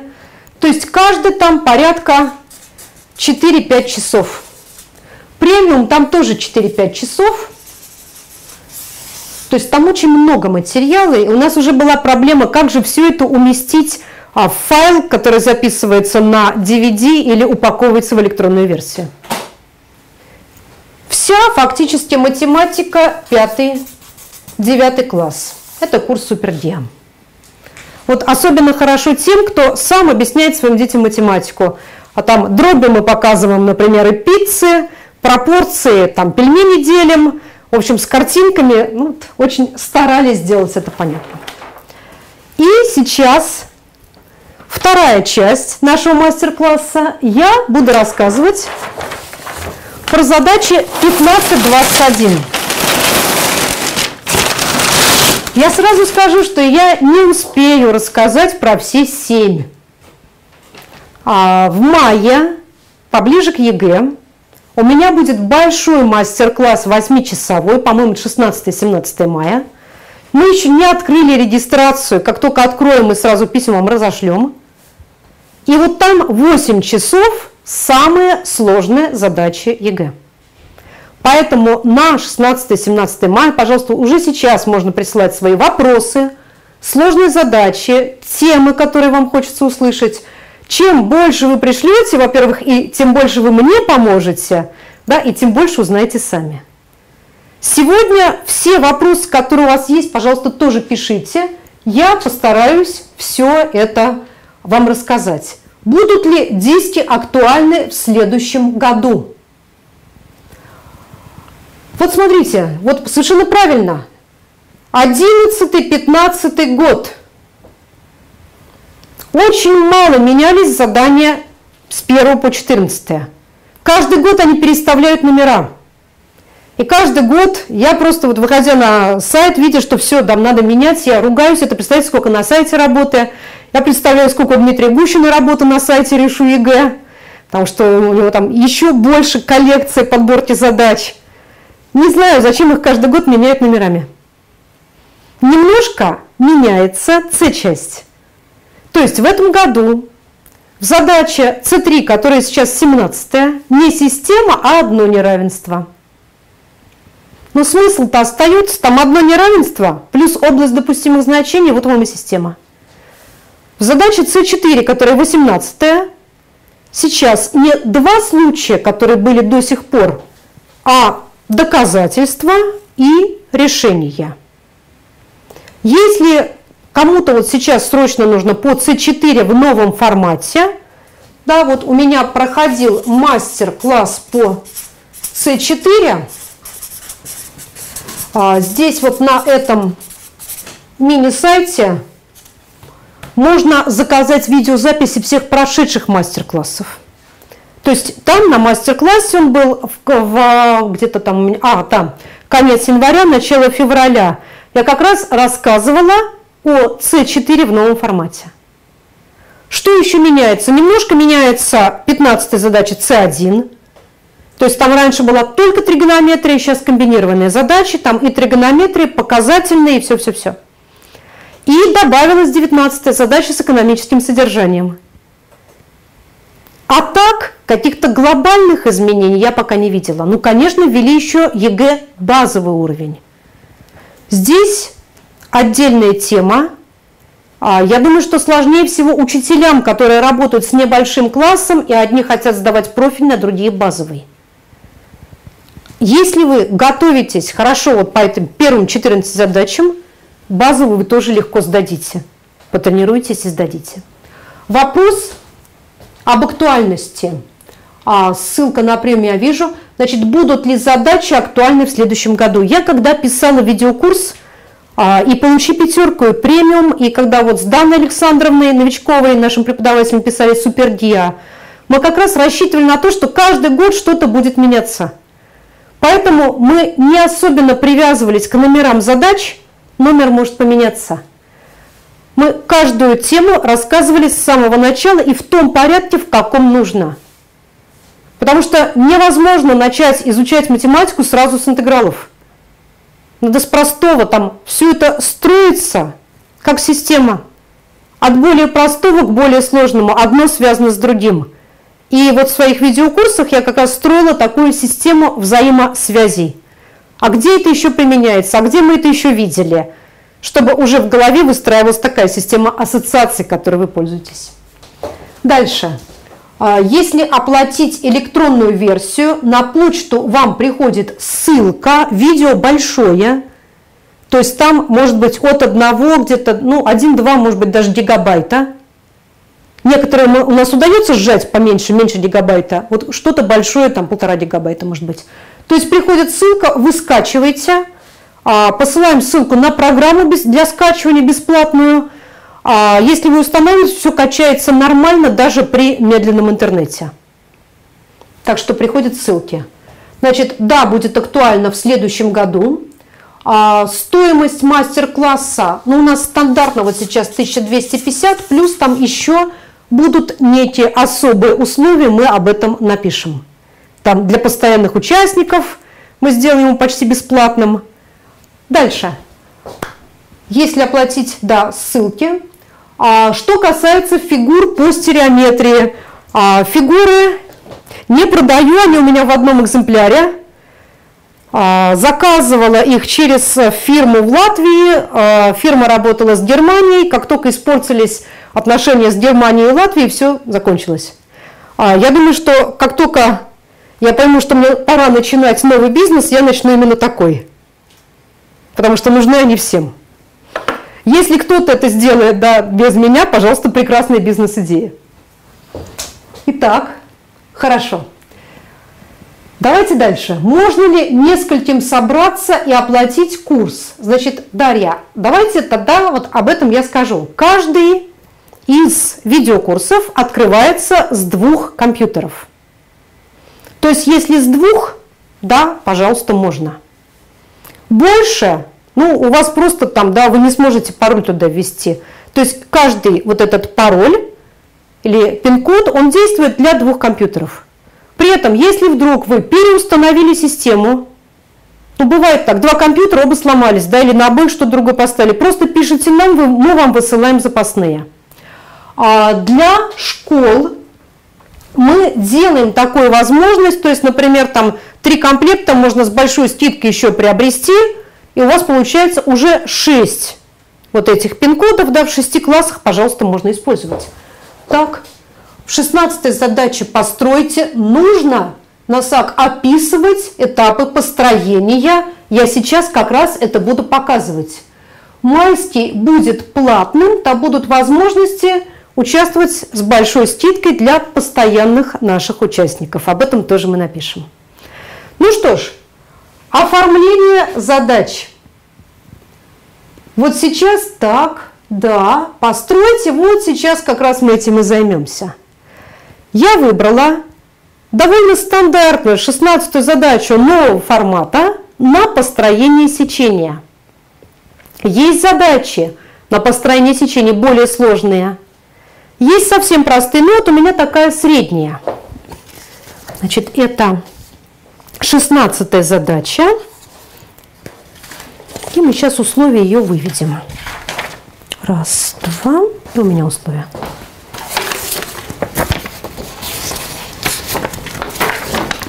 Итак, 16 задача. Точка Е. Середина ребра ББ1 куба АБЦ, Д, АБЦ, А1, Б1, С1, Д1.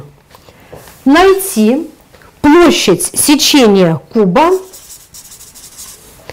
плоскостью D1, А, Е. Я напишу куб А, D1, ребро равно 4, точка Е, середина ББ1, найти площадь сечения куба плоскостью D1AE. Хорошо, давайте мы все это построим. То есть мы возьмем куб, построим это сечение. Вот отдельная тема, я пока рисую, буду рассказывать, как строить чертежи в задачах по стереометрии. Вот у меня на сайте ЕГЭ прямо есть такая небольшая статья, как нарисовать так, чтобы все увидеть.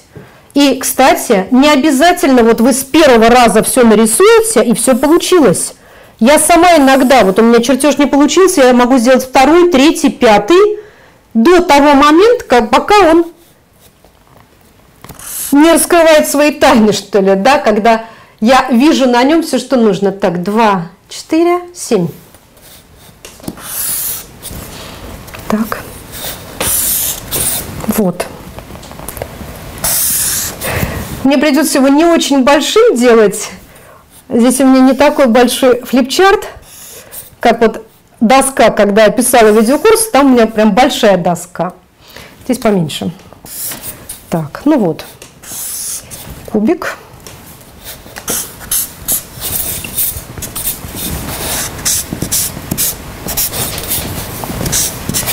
Так, расставляем точки. Здесь у меня пускай будет А, Б, CD. А1, Б1, С1, Д1, мне надо построить сечение, проходящее через точки D1, А и Е, где Е – это середина Б, Б1. Хорошо.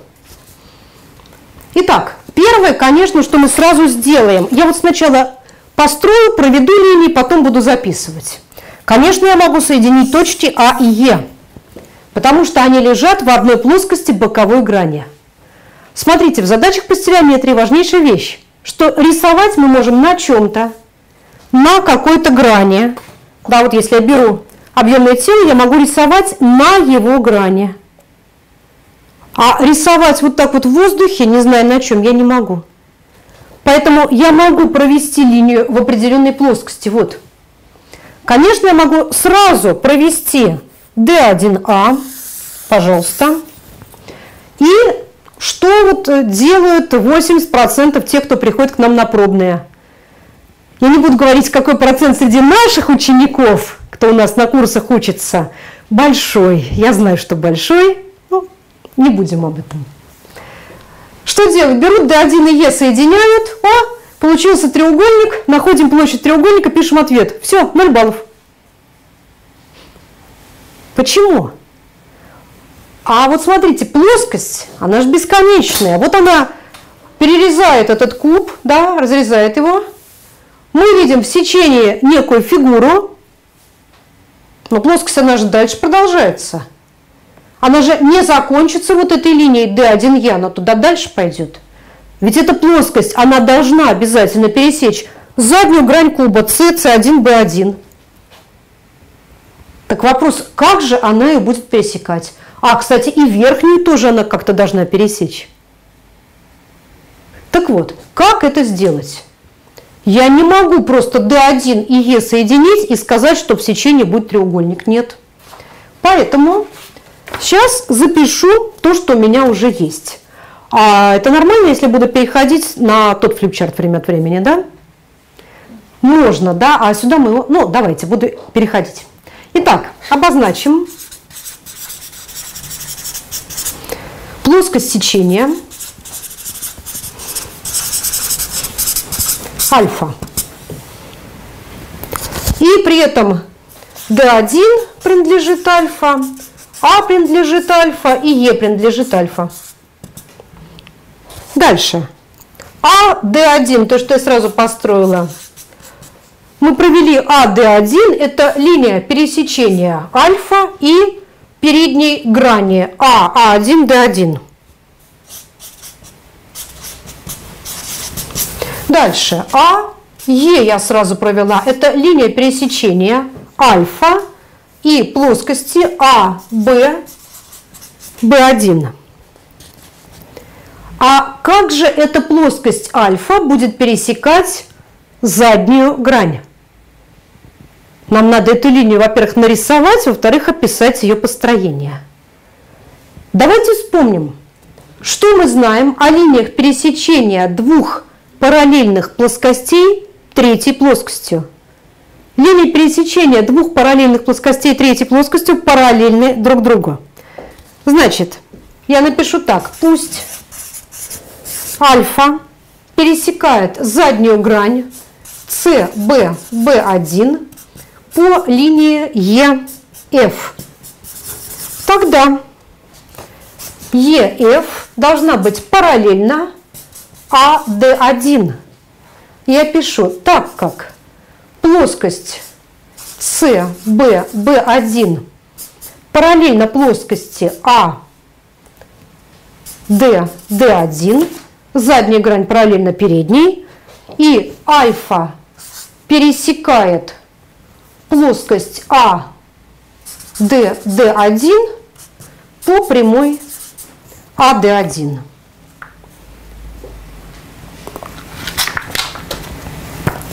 То есть нам нужно в плоскости задней грани провести прямую параллельную АД. Давайте проведем. Кстати, а как она пойдет? Ведь А, нет, а, нет не АД, извините, АД1. АД1 это диагональ квадрата АА1, Д1, Д. Правильно? То есть угол между А1, АD1, а, вернее угол А1, АD1 это 45 градусов. Ну тогда, раз мы проведем параллельную прямую, вот я так на глаз пока провожу, не совсем на глаз уже, вот так вот. Вот она, ЕФ.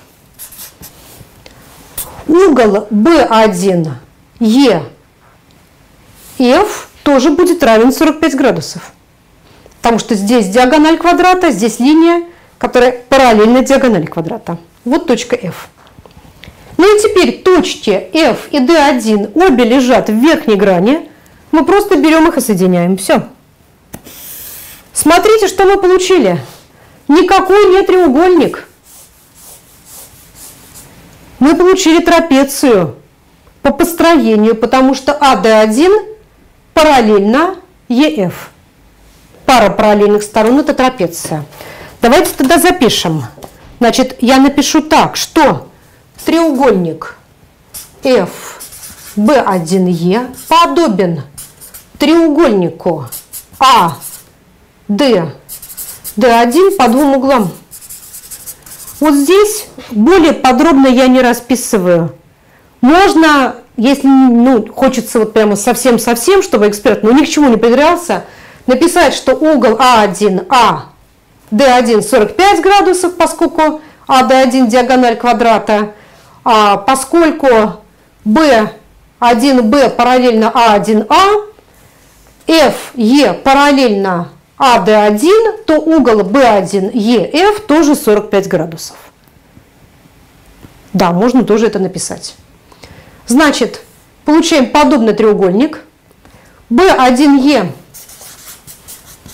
у нас по условию половина стороны, то есть 2, тогда B1F тоже 2. Тут 2, тут 2. Смотрите, как хорошо, мы сразу знаем об основании трапеции. Я сейчас перейду на ту доску. Можно, да, технически? Сейчас мы это сделаем. То есть у меня вот чертеж там остался, я на него смотрю.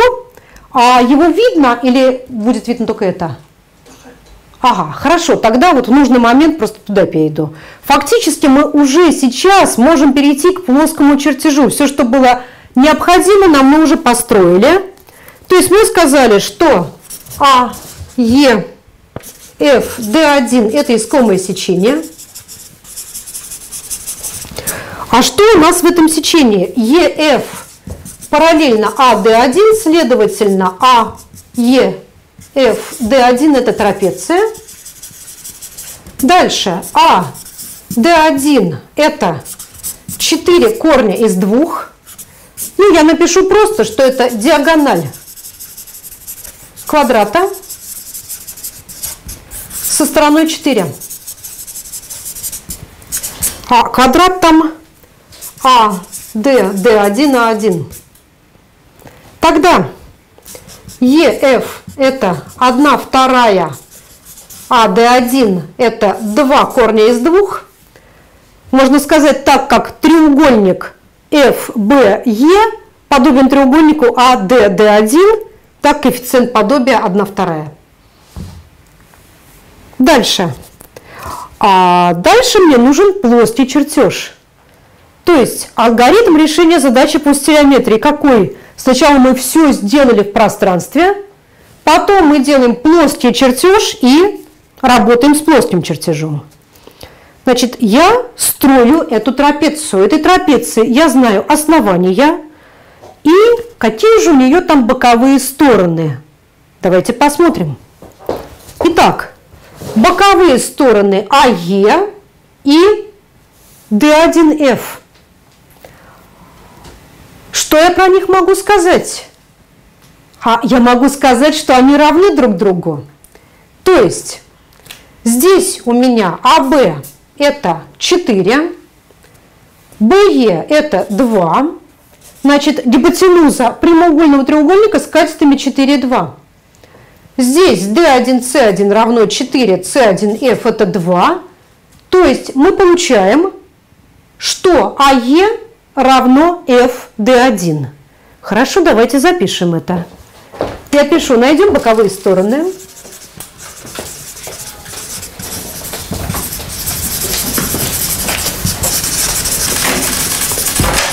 Нарисую саму эту трапецию.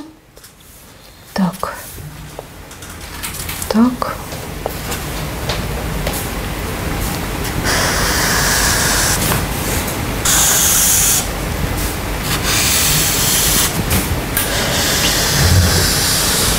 Так, вот она. Ну, вполне ровно даже. Так, это А, Д1, Ф, Е.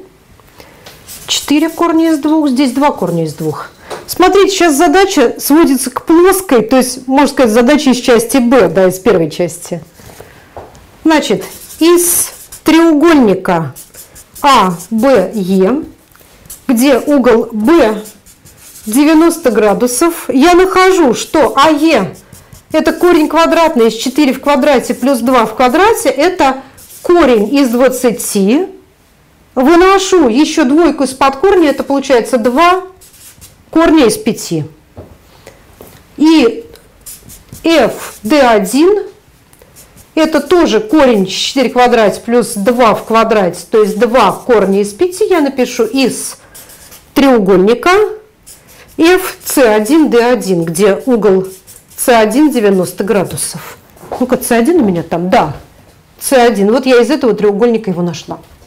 Хорошо. Значит, боковые стороны равны друг другу и равны 2 корня из 5. Здесь тоже 2 корня из 5. Легкая задачка.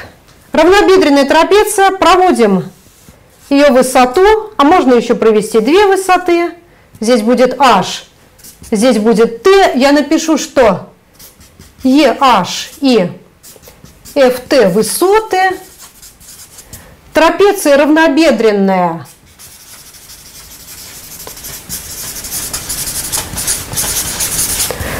Значит, я получаю, что AH равно D1T.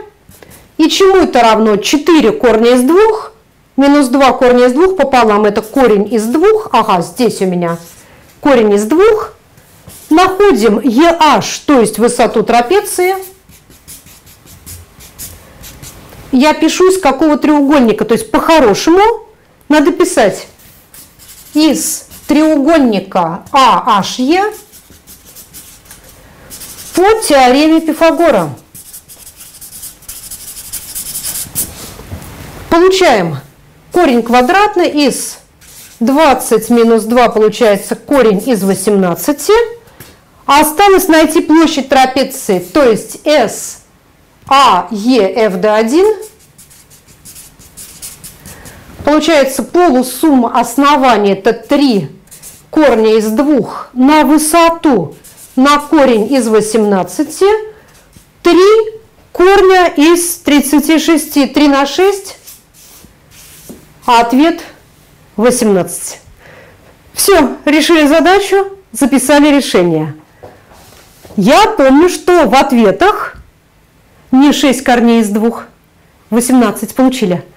В ответах на тест, который мне присылали, был очень хороший вопрос.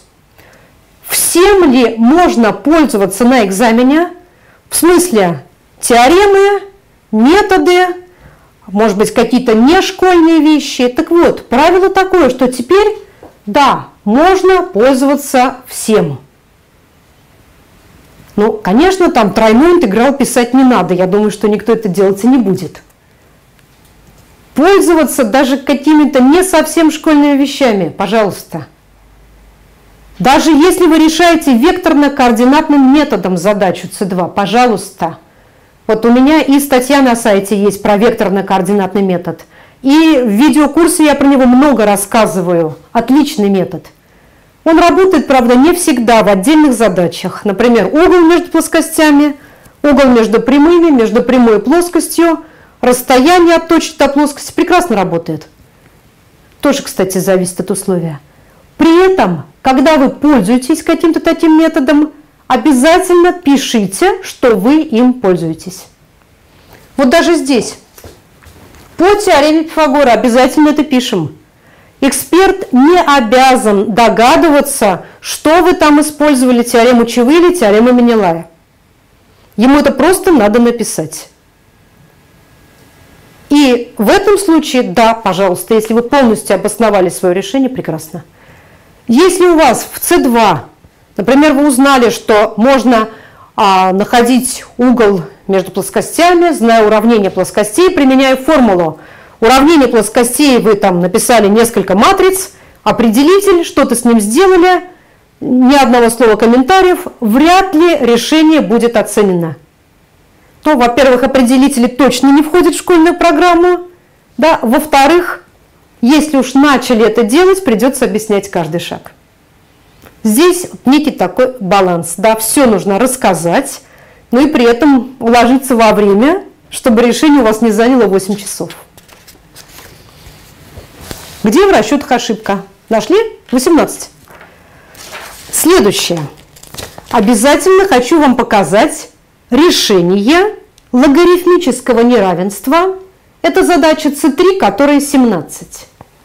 Хорошая, выигрышная задача. То есть просто аккуратно делайте все преобразования – Пользуйтесь свойствами логарифмической показательной функции, корня квадратного, иногда там бывает, модуля. А у меня вот большой вот этот видеокурс по C3, по, а, 17, да, по 17 задаче. Там я рассказываю разные-разные способы решения неравенств. Формулой пользуйтесь. Смотрите, если вы слишком далеко ушли от школьной программы, вы задумайтесь вообще, а надо ли туда идти? Наверняка там есть более простой способ. Вот я ни разу не видела задачу ЕГЭ по геометрии С4, где бы использовалась там теорема Чевы или теорема Менелая. Ни разу. Всегда это решалось более простыми способами. Ни разу не видела, чтобы в С2 вот никак нельзя было бы обойтись без матрицы определителей.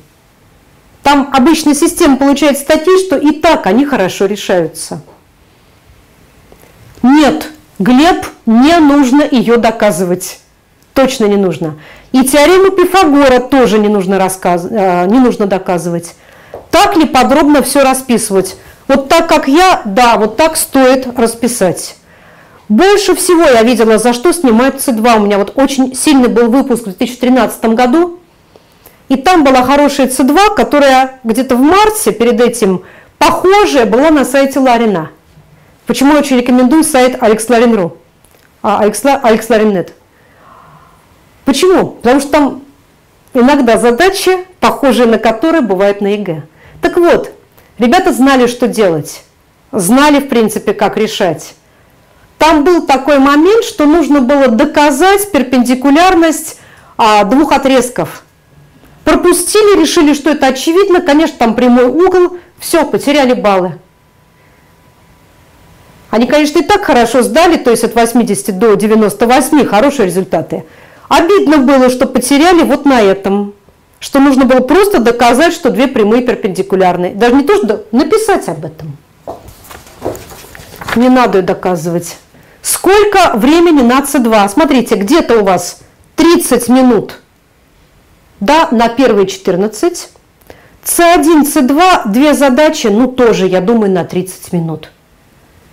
То есть, если вы хотите решить все, вот за час у вас сделана Б-часть, 14 задач, С1, С2. В обязательном порядке делаем С3 логарифмическое или показательное неравенство. То есть это решается всегда, если вы претендуете на а, поступление в ВУЗ, технический, экономический, с сильной математикой. 17 задачу надо решать. Вот это must do, что называется, да, must have. Дальше у нас остается 18, 19, 20, 21. 19 практически всегда тоже делаем. А вот 18 С4, 19 С5 и 21 С6 смотрим на них, выбираем из них самую знакомую – Иногда С5 оказывается простая. Иногда С6, 21 задача, вы сразу берете за нее баллы. То есть на них надо посмотреть уже на все три, когда сделано все остальное, выбрать самую выигрышную и заняться именно ей. Так, лучше, так, черновик, чистовик. Всегда ли на реальном ЕГЭ задание легче, чем варианты Ларина? А, ларинские варианты чуть-чуть посложнее. На реальном все-таки попроще. Но это у меня опыт прошлых лет, до 2014 года, я не знаю, как на 15 -м. Зачем в построении сечения мы доказываем подобие треугольников, чтобы, а я даже не очень подробно это расписала, почему там параллельные прямые, почему трапеция. А, так, лучше на черновике сначала писать или сразу в чистовик задачи С. А, вы знаете как, я вот, когда сама решаю, причем я знаю, что у меня это привычка, я сразу пишу вот так. То есть стараюсь черновиков не разводить, мне потом сложно в них разобраться. И я вижу, когда черновик, в котором все перечеркнуто, одно на другом написано, когда через 30 минут начать с него переписывать, получается генератор ошибок. Ну, не рекомендую. Рекомендую сразу уже писать в приличном виде. Так? Можно не сразу хорошо начертить, можно, но не получилось, сделали другой чертеж. Там зачеркнули этот, сделали другой. Хорошо. Семнадцатая задачка – логарифмическое неравенство. Может, я здесь останусь? Нормально? Хорошо, остаюсь.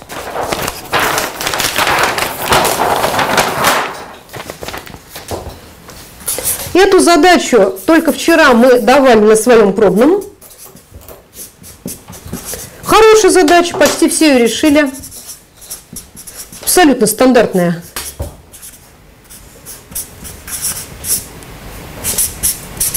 Вот. Решить неравенство. Итак, есть несколько способов оформления вот такой задачи. Первый вы пишете ОДЗ – область допустимых значений. Получаете систему условий для ОДЗ, решаете эту систему, и иногда как раз с этого надо начинать, потому что тогда проще становится все остальное. Например, вы знаете, сколько случаев рассматривать. Второй способ можно поступить вот так. Наше неравенство равносильно следующему. А я пока что сделаю только одно преобразование. Смотрите, я смотрю, что у меня там в левой части. Здесь 2 логарифма минус еще один логарифм по одинаковому основанию. Хорошо бы мне эту двойку убрать наверх, чтобы у меня просто осталась разность логарифмов.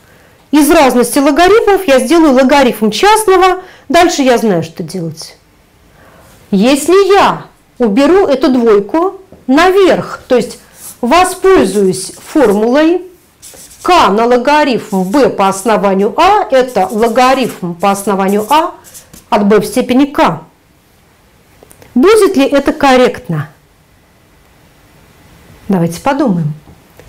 В этой формуле левая часть существует при b больше нуля. А если k равно 2, здесь будет b в квадрате, а b квадрат положительно, даже если b меньше нуля. То есть эту формулу я могу применять в определенных условиях. Здесь я сразу написала, что да, при b больше нуля это верно. Потому что если b меньше нуля, да, правая часть, левая часть вообще не существует. Поэтому я пишу условия, при котором могу применять эту формулу, убирать эту двойку в показатель. x минус 2 должно быть больше нуля. Мы от него берем логарифм. x квадрат минус x минус 2 тоже должно быть больше нуля. Теперь я двойку наверх убираю.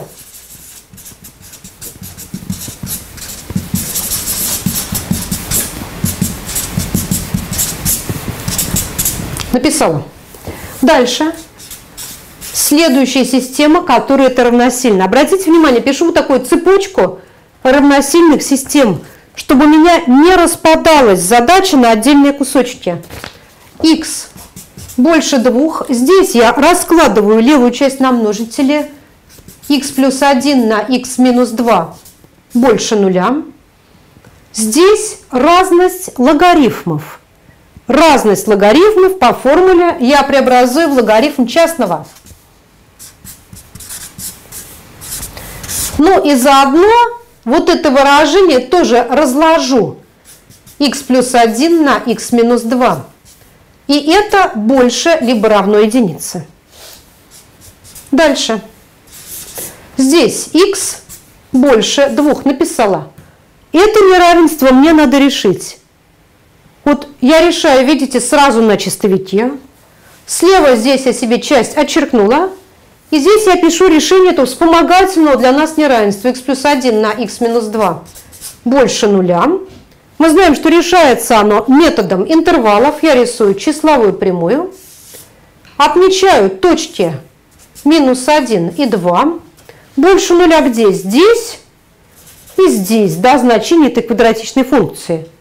И я пишу, что либо x меньше минус единицы или x больше 2. Ну, а тут в третьем неравенстве единицу я тоже представляю как логарифм по основанию 0,5. Кстати, тут x минус 2, x минус 2 я могу сократить. x минус 2, здесь x плюс 1, больше либо равно логарифма 0,5 по основанию 0,5. Смотрите, вот эти два промежутка, я их записала как совокупность x или с одного, или с другого. Обычно в решении С3, когда проверяю, я вижу, что вот неравенства их просто вот разбрасывают так вот хаотично по всему листу. Эксперту очень сложно разобраться, что из чего следует. Поэтому оформляете решение С3, да, такая должна быть четкая цепочка, что откуда получается, что из чего следует, какие условия. Идем дальше. x больше 2, тогда уж точно он не может быть меньше минус 1, я пишу просто x больше 2. Здесь слева логарифм и справа логарифм, основания одинаковые. Действие это вы знаете, это все мне сразу говорят, отбросим логарифмы. Хорошо, отбросим логарифмы, назовем это так, убрали их. При этом основание меньше единицы, знак неравенства должен поменяться. То есть x минус 2 на x плюс 1 меньше, либо равен 0,5, то есть 1 второй. Все, я получила систему алгебраических неравенств, простейших. Да, я ее легко решаю. Я получаю, что x больше 2. Здесь я переношу одну вторую в левую часть.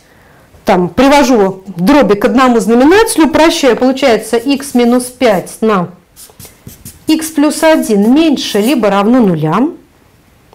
И теперь мне нужно написать решение системы. Я рисую числовую прямую. x больше 2 отмечаю.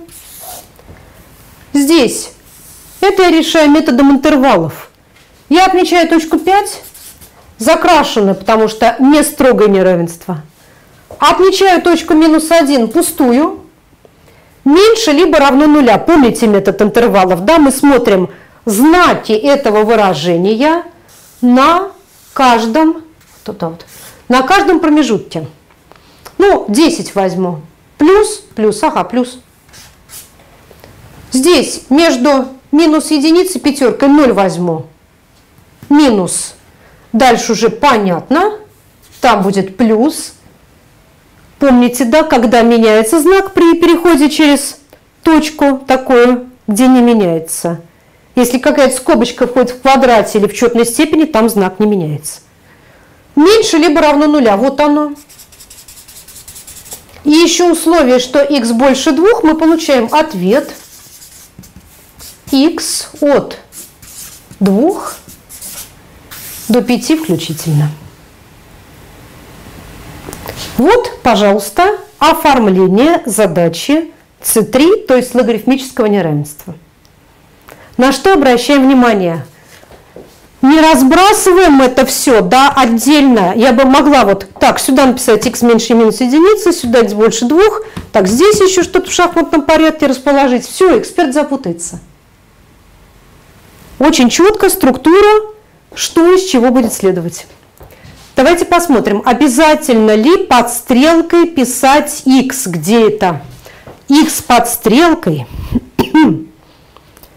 Здесь обязательно. Это просто я его забыла, спасибо. Да, потому что иногда вы делаете замену переменной, И у вас не x будет, а ось t оси обязательно подписываем. Спасибо. Потому что эксперт, он не должен додумать и гадать, что у вас по осям, он должен просто это увидеть. Дальше, так, да, все хорошо. Ну что ж, сейчас самое интересное, сейчас те задачи, которые почти никто решать не собирается. А может собираетесь, если вы собираетесь решать 19-21, то вам большой респект. Потому что 19 задача, задача с экономическим содержанием, появилась только в этом году. И вот по самым-самым первым вот этим задачам 19 я сделала видеокурс, а мы с моим коллегой Романом Сарамсоковым, он занимается подготовкой к Олимпиадам по экономике дистанционно, мы с ним сделали такой бесплатный мастер-класс, где рассказывали часть этих задач, и потом у меня видеокурс по 19 задаче. Пока 19 задач разных типов немного. И у меня такое ощущение, что к ней намного проще подготовиться, чем даже к С4 или С5, то есть 18 или 20. Давайте посмотрим.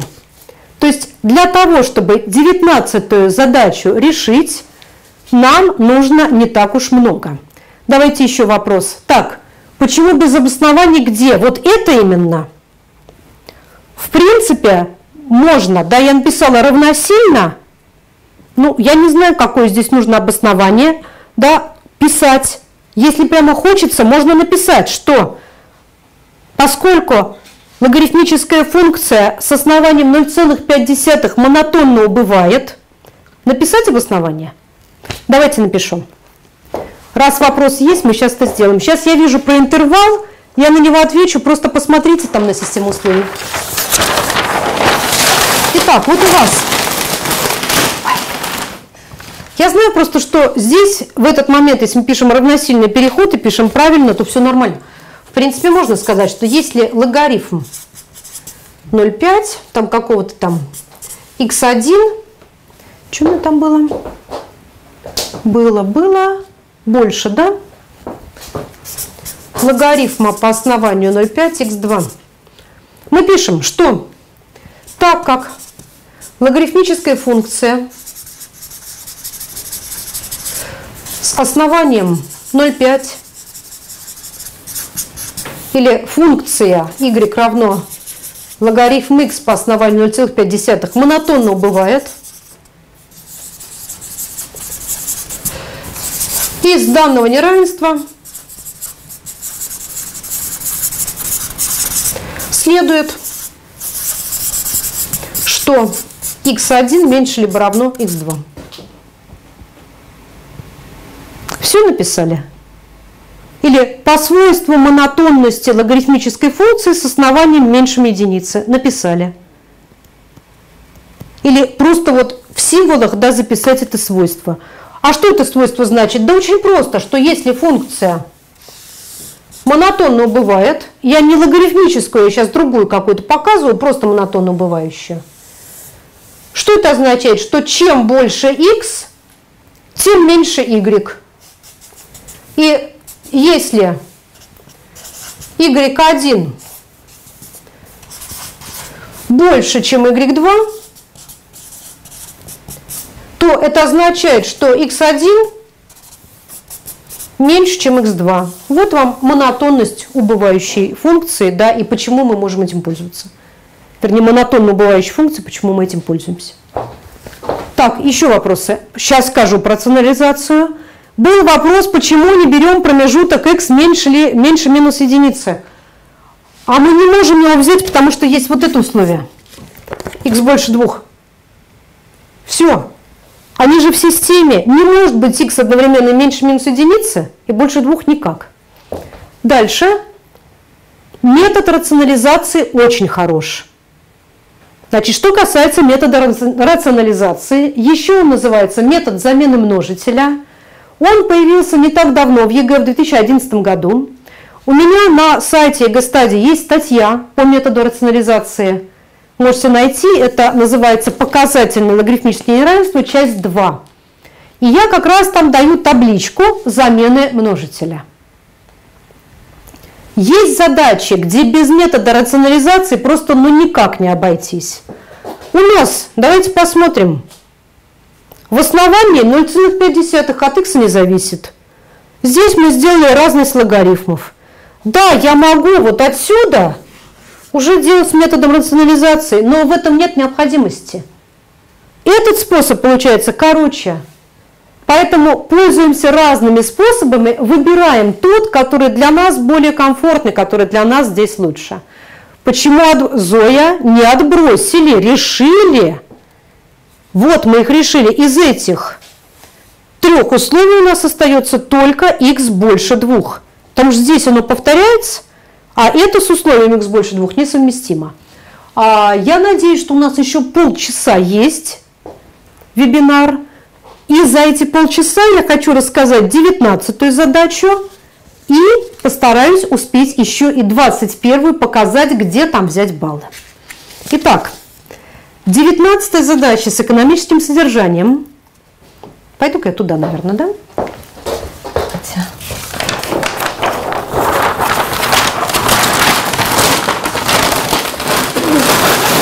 Есть. Вот она.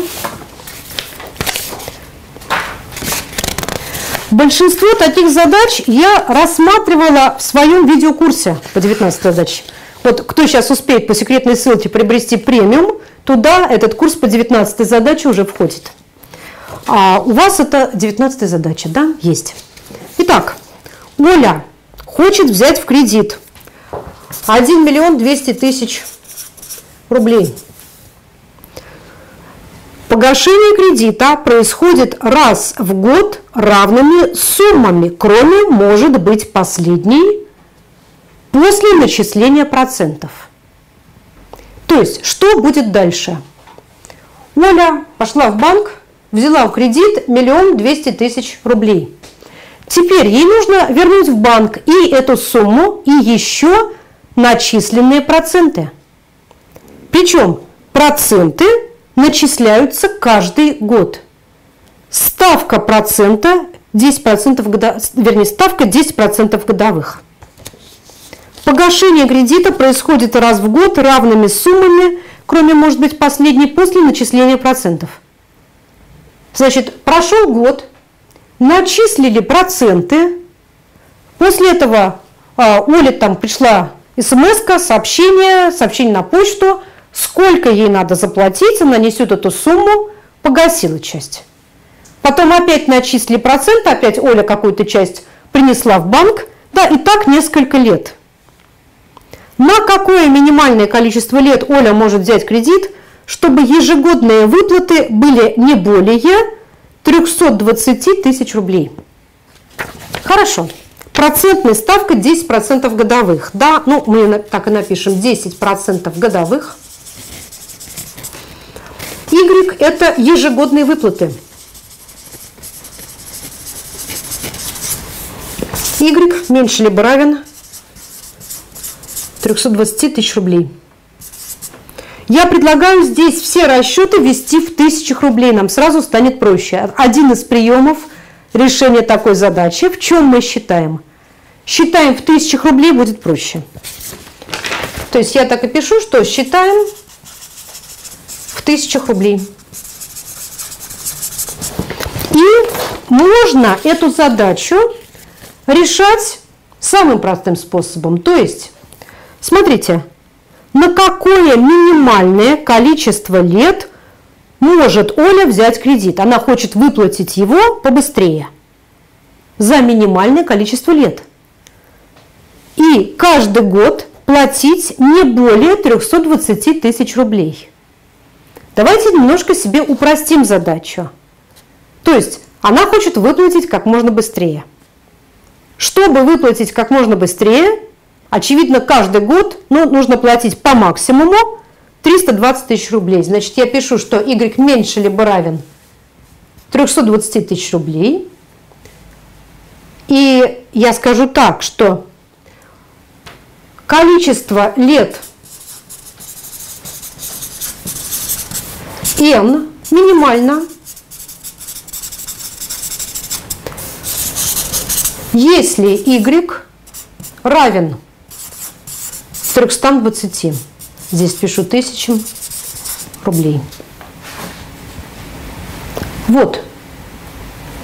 То есть наименьшее количество лет будет, если Оля как раз по 320 тысяч рублей каждый год будет вносить. Вот теперь мы знаем, какая будет сумма ежегодных выплат. Что необходимо знать для решения задачи 19? Вот это у меня э, в видеокурсе есть.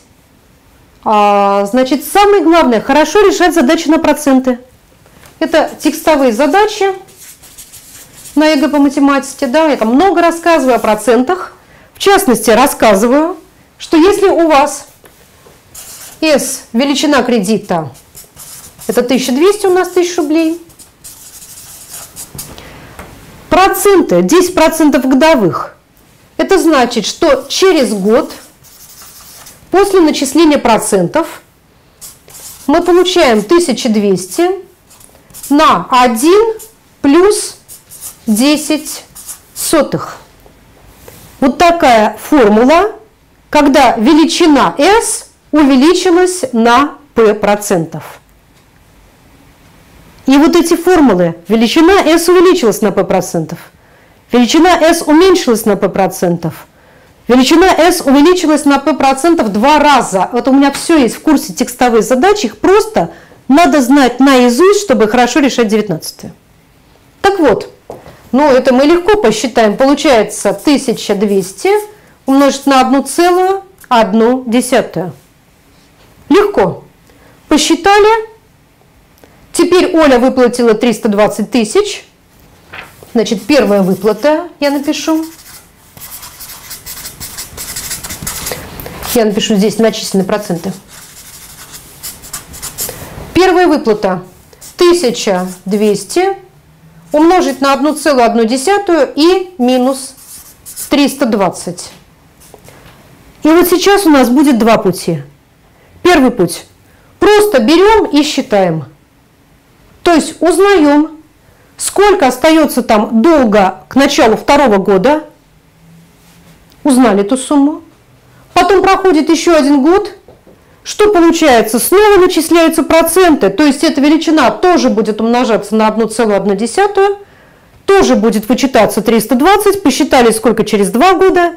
Потом через три, потом через четыре да, можно идти этим способом. Недостаток один на ЕГЭ. Нельзя пользоваться калькулятором, а вычислений здесь получается довольно много. То есть считать вот эту сумму долга на каждом шаге. Поэтому, да, такой способ есть. Я сейчас хочу показать немножко другой. Итак,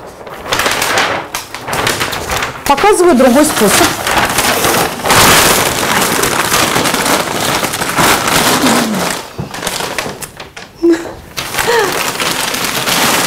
Такое. Сейчас я. Надо как-то победить. Так. Почему я хочу другой способ показать? Потому что а, здесь я дам формулы, работающие и в более сложных задачах, 19, не только в этой. Значит, долг через год. Я пишу 1200 умножить на 1,1 минус 320. Так, еще один год прошел через два года. 1200 на 1,1 минус 320.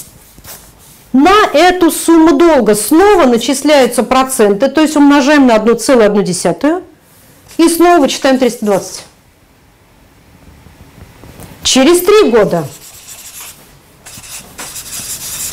Вы догадываетесь, что происходит? Да, уже на всю эту скорость. Давайте вот обозначим это. Это будет через год S1, это S2. Вот это S2 уже умножается на 1,1 и еще минус 320.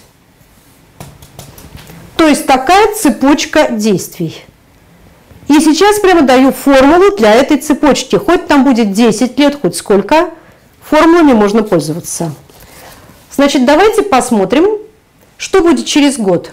А здесь вместо 320 я буду писать Значит, 1200, да, это у меня была S, 320 это Y, чтобы короче. А, 1 целая, хорошо, 1,1 оставлю. В принципе, вот в общем виде эта формула тоже легко выводится. То есть получается 1,1 S, S1 это 1,1 S минус Y, S2 это 1,1 S минус Y на 1,1 минус y, давайте посчитаем. 1,1 в квадрате на s минус 1,1 y минус y. То есть 1,1 s минус y на 1,1 плюс 1. Я увожу формулу. s третья Здесь еще одно появится, так, еще такая же итерация, да, еще такое же действие. 1,1 минус y на 1,1 минус y на 1,1 минус y. И если я здесь раскрою скобки, я получаю так, так, так, так, так. Сейчас. А, здесь, извините, 1,1 в квадрате.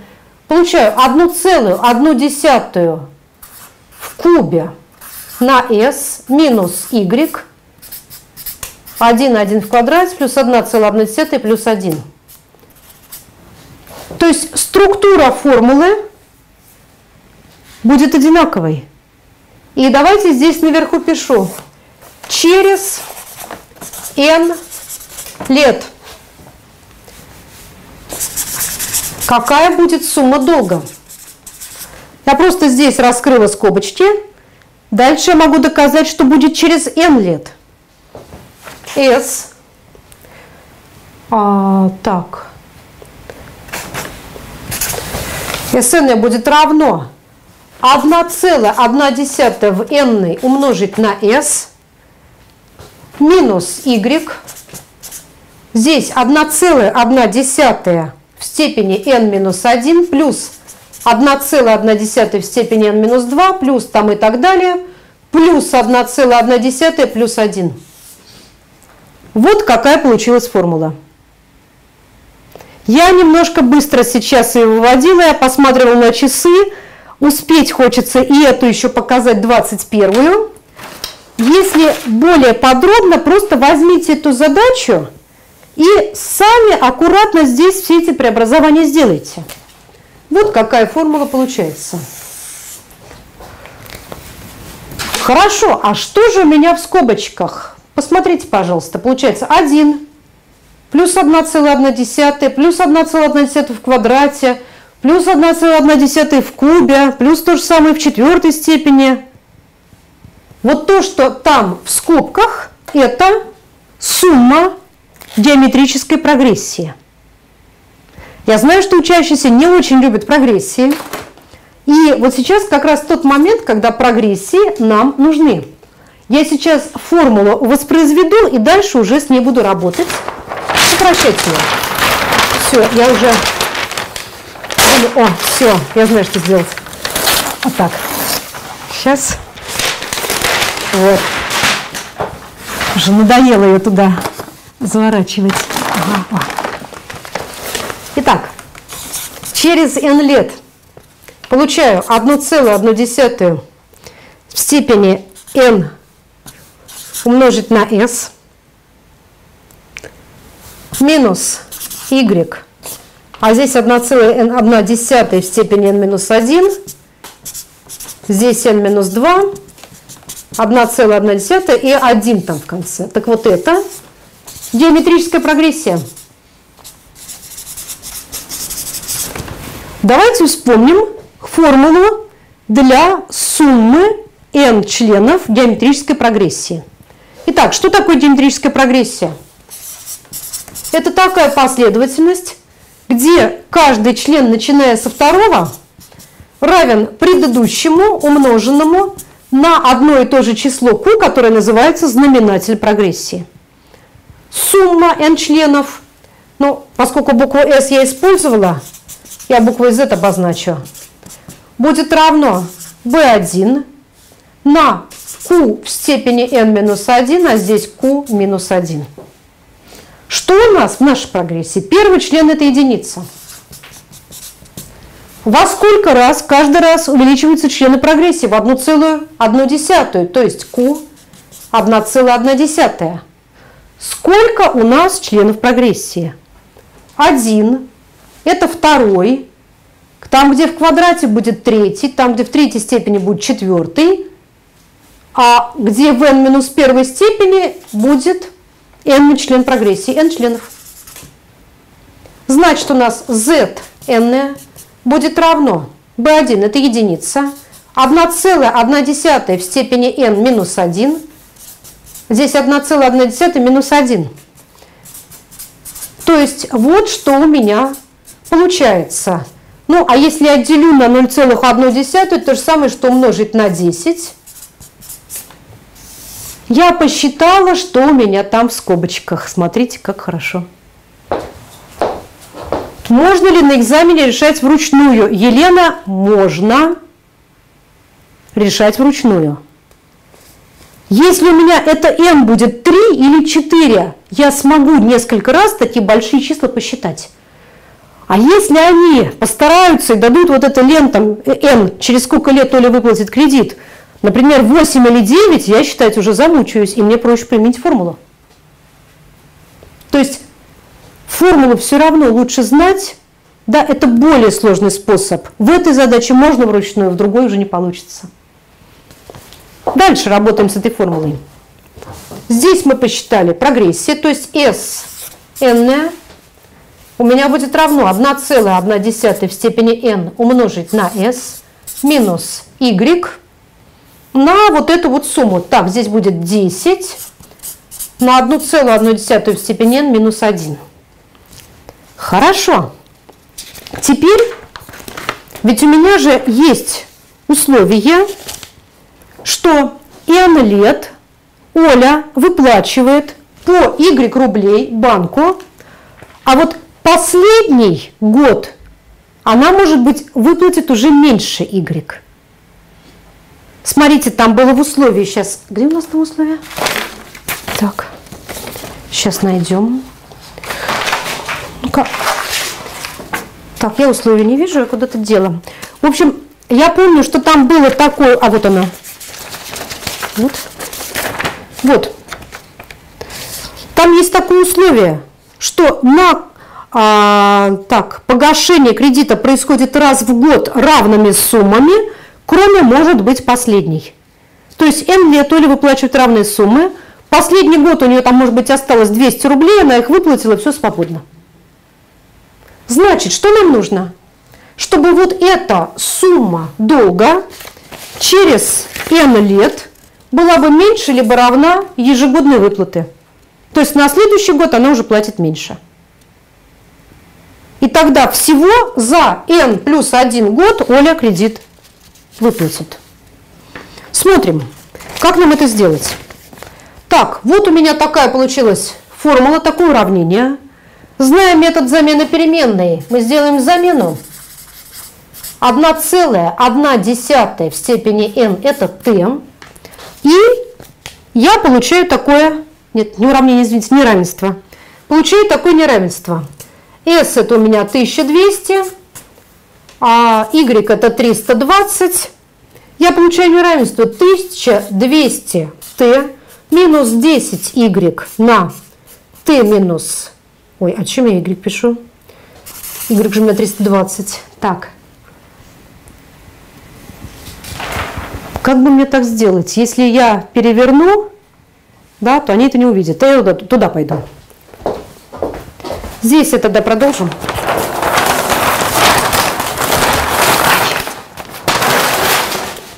Значит, 1200 т минус 10 на 320 на t минус 1 меньше либо равно 320. Вот что я получила.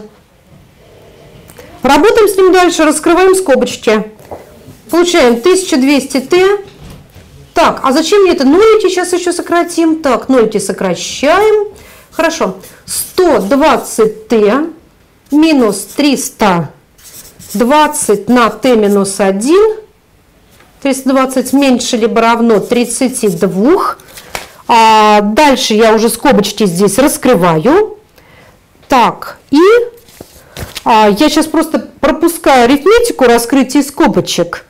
Да, я получаю 120t меньше либо равно 32 на 10t минус 9. Ну, там просто скобочки раскрыла, да, получила все это. Дальше. Дальше мне нужно решить это неравенство относительно t. t, мы помним, это 1,1 в степени n. Как мне это сделать? Я знаю, что, естественно, t больше нуля, правильно? Раз t больше нуля, я могу спокойно поделить на t обе части неравенства. Ну и 32 тоже больше нуля, я могу и на 32 поделить обе части. То есть 120 на 32 меньше либо равно 10t минус 9 делить на t. Я поделила на t, потому что оно положительно. То есть 10 t минус 9 делить на t больше либо равно 120 на 32. Давайте сокращать. 32 делим на, а, на, на, на, на 8 это 4. 120 на 8 15, 15 четвертых. Вот здесь, чтобы мне было еще проще, я дробь разобью на 2. Это получается 10t делить на t. Я тут напишу. 10t делить на t минус 9 делить на t. Я могу так сделать. А, могу, не, могу еще, еще проще. Смотрите. Здесь можно на t умножить обе части. Оно положительно. Здесь на 4 обе части. Все. Ну, потому что t больше нуля. Поэтому здесь я как-то более свободно себя с ним чувствую. 40t минус 36 больше либо равно 15t. 25t больше либо равно 36, t больше либо равно 36 25, а 36 25 сколько это сотых? Умножаем числитель и знаменатель на 4, получаем t больше либо равно 144 сотых, t больше либо равно 1,44 а. То есть я получила я даже вот здесь наверху это напишу, что 1,1 в степени n больше либо равна 1,44. Вот. И теперь, мне кажется, вычисление будет намного меньше. Потому что 1,1 в квадрате это, нет, вот даже так, 1,1 в квадрате это 1,21, правильно? 1 в квадрате 121. 1,1 в кубе, я просто это число еще умножу на 1,1, это получается меньше, чем 1,44. А вот 1,1 в четвертых, четвертой больше, чем 1,44. Значит, мы получаем что? n равно 4. То есть 4 года Оля выплачивает по 320 тысяч рублей, потом что-то у нее остается, за пятый год она выплачивает остаток и ответ 5 лет. Вот полностью решение задачи. Что я здесь показала? Да, я специально пошла таким сложным путем, можно было все посчитать. Ну, конечно, первый был бы короче. Почему я этот показывала? Потому что не все задачи будут такие, как вот это про Олю. Если там будет не 4-5 лет, а 10-12, представьте, сколько считать. Я показала общий способ, который подходит для более сложных задач. То есть здесь формула геометрической прогрессии можно. Формулу геометрической прогрессии сделали. А вычисления вот эти все сделали. Я показала чуть более сложный на примере этой простой задачи. Если вы сделали по-другому, Правильный ответ – да, пожалуйста.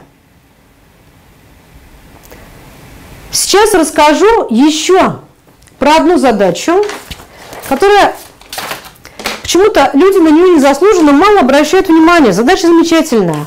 Это 21, то есть С6. Вообще очень интересно было читать ваши ответы. Знаете, больше половины, наверное, процентов 70 сказали нет. С6 я не буду даже читать. А почему нет? И было несколько умных людей, которые написали, я делаю всю часть Б, делаю немножко из части С, обязательно читаю С6 и беру за нее 1-2 балла. Хорошо? С6, 21 задача, это лотерея. Может быть, что она будет такой хорошей и выигрышной, что вы ее прочитали и сразу взяли вот эти 1-2 балла. А может быть, что вы ее прочитали, и второй раз прочитали, и третий, и ничего. Поэтому надо просто понять, там что, туда стоит двигаться или там для вас тупик. Тупик в том смысле, что если вы будете решать три часа, она сложная, то лучше за нее не браться, потому что у вас всего четыре. Еще, кстати, про ответы хочу сказать.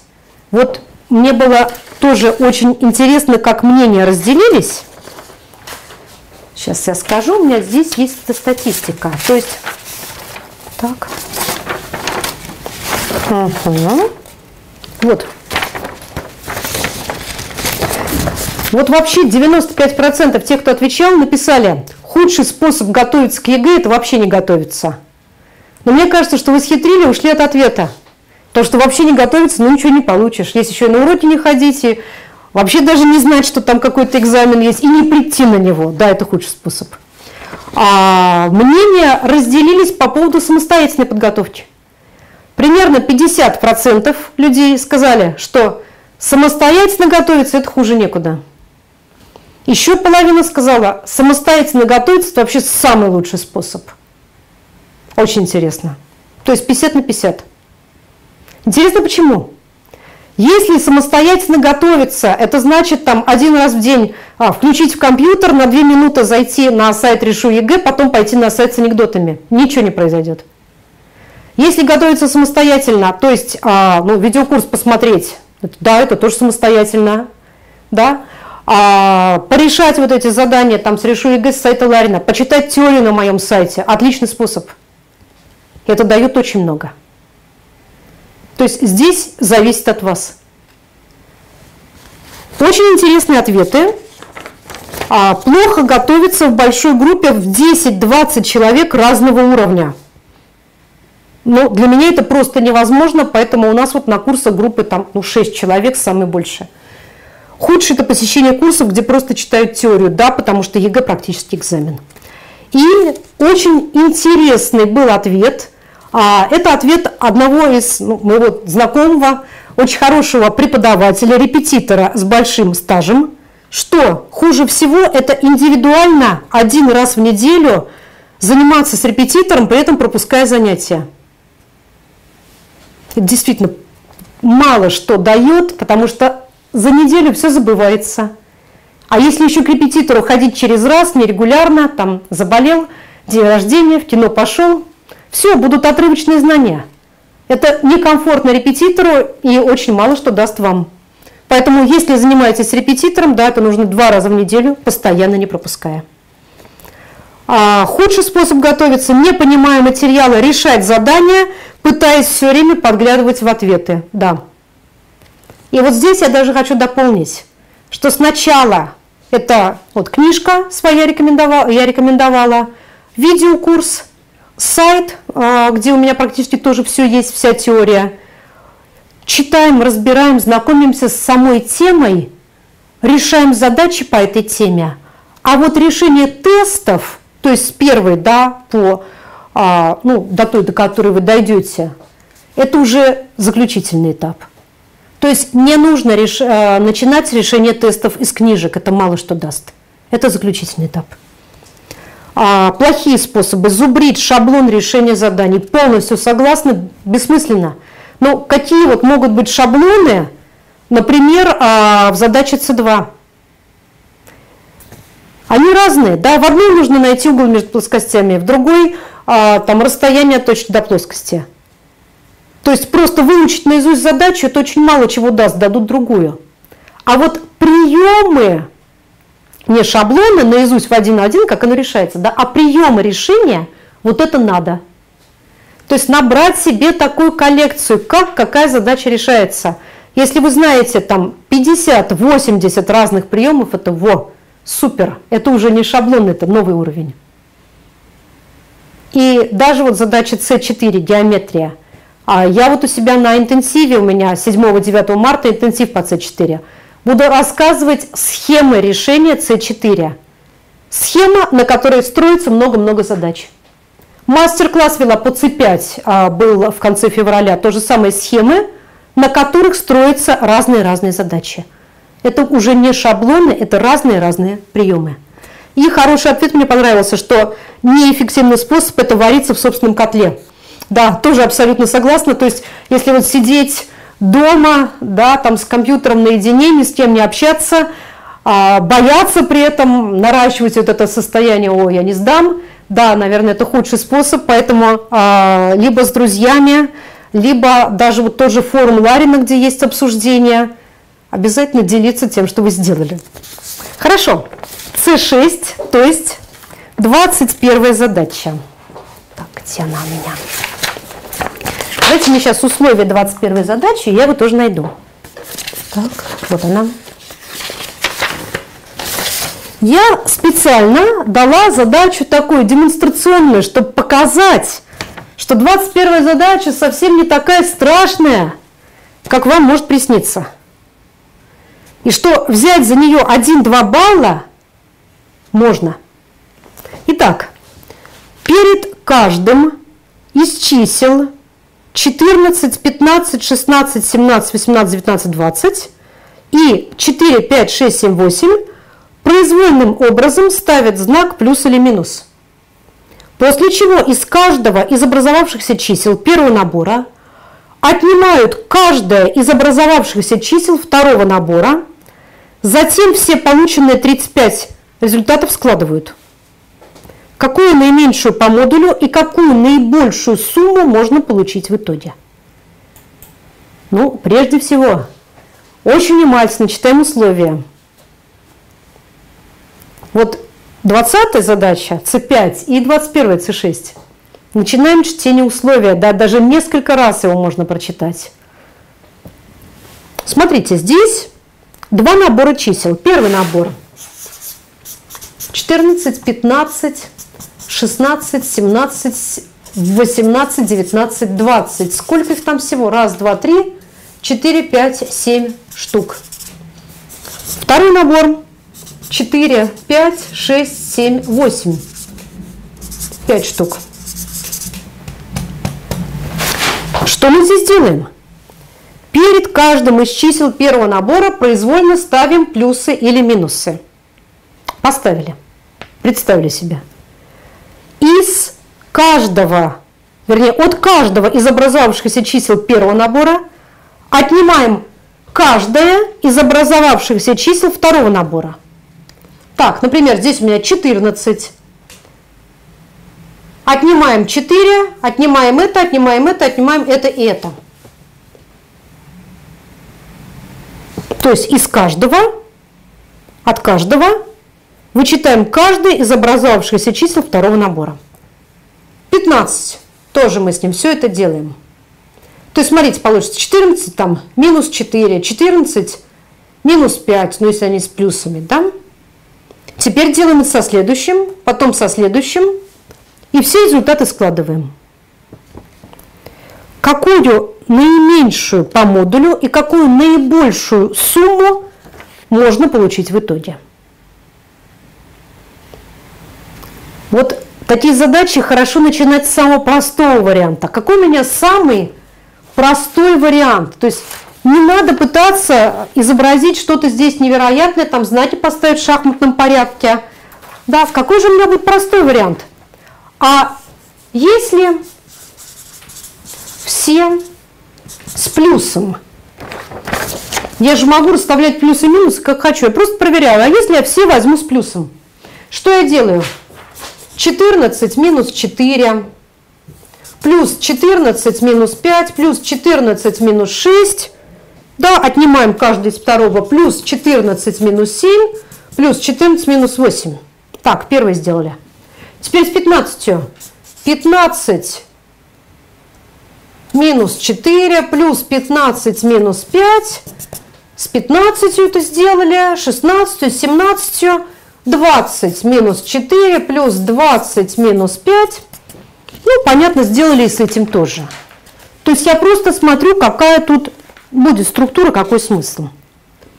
Так, а мне надо получить одну сумму наименьшую, наименьшее значение суммы, другой наибольшее. А вот смотрите, какое здесь проще сделать. Вот если я беру все с плюсами, четверки вот здесь вычитаются, пятерки вот эти вычитаются, шестерки вычитаются, семерки тоже. А как сделать побольше? Тогда их надо не вычитать, а прибавлять. Значит, у меня получается такое решение. Из первого набора все с плюсом,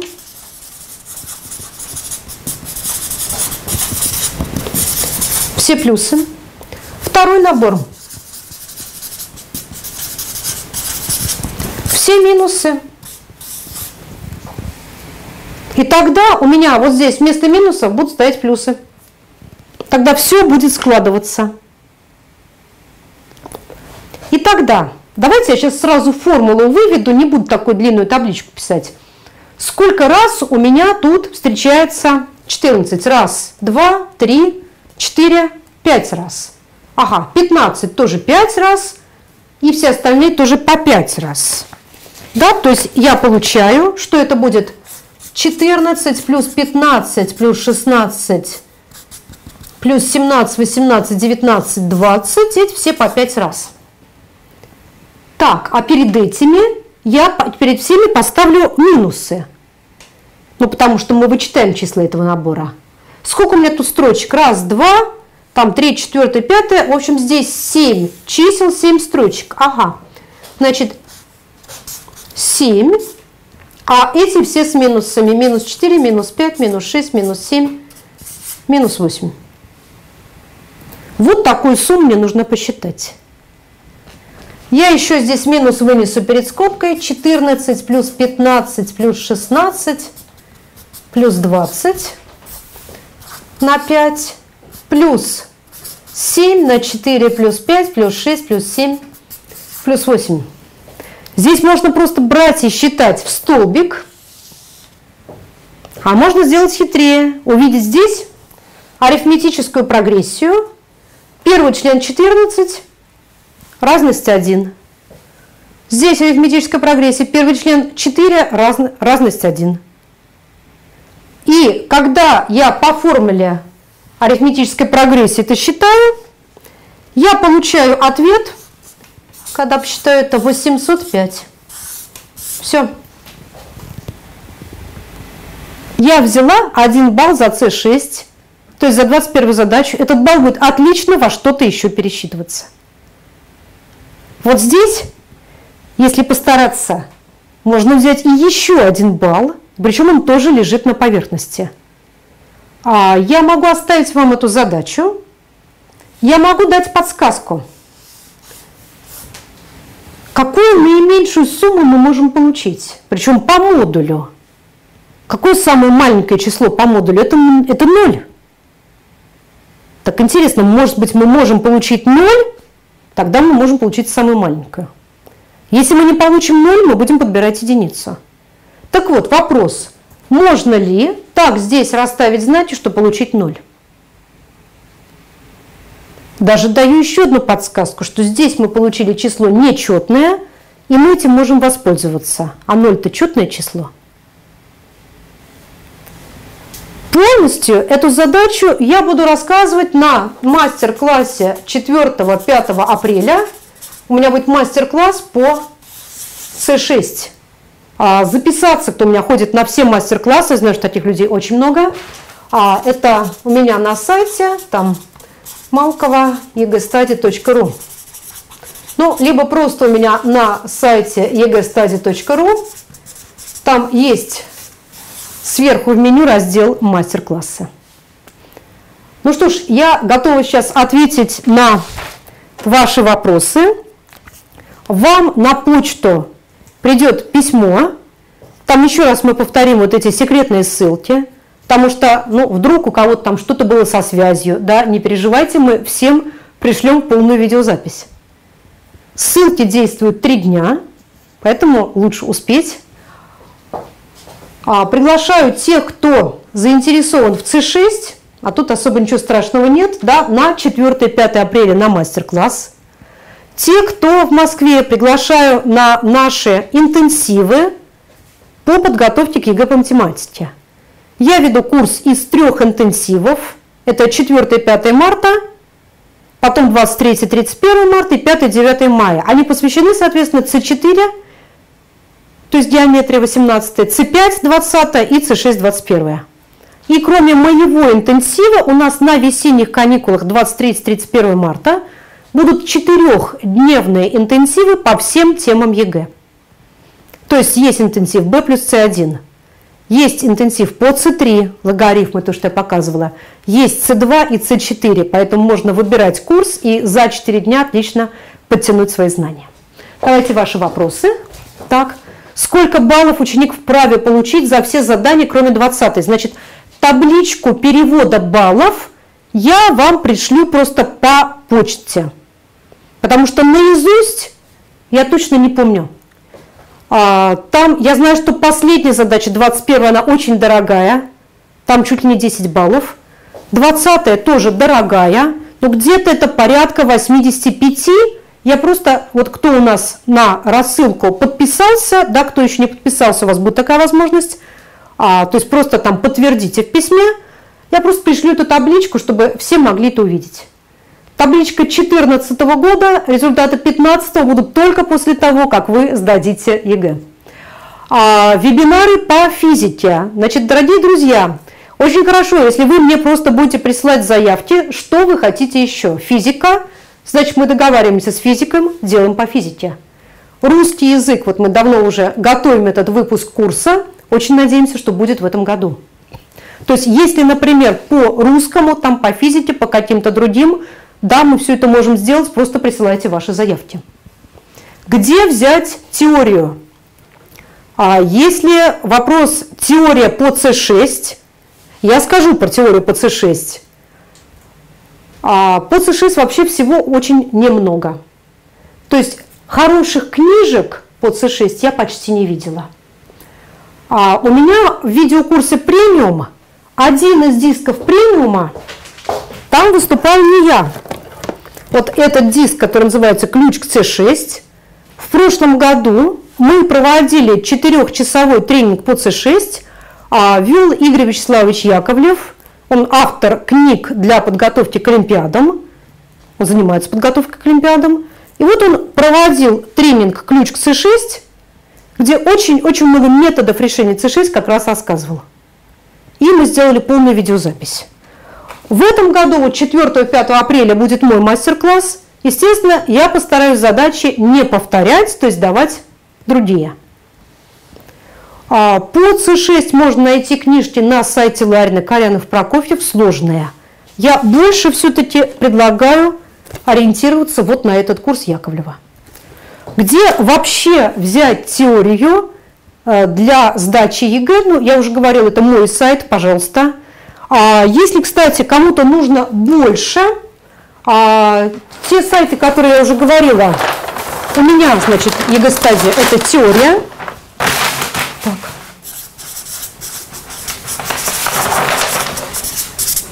А, у меня там статьи по практически всем темам ЕГЭ.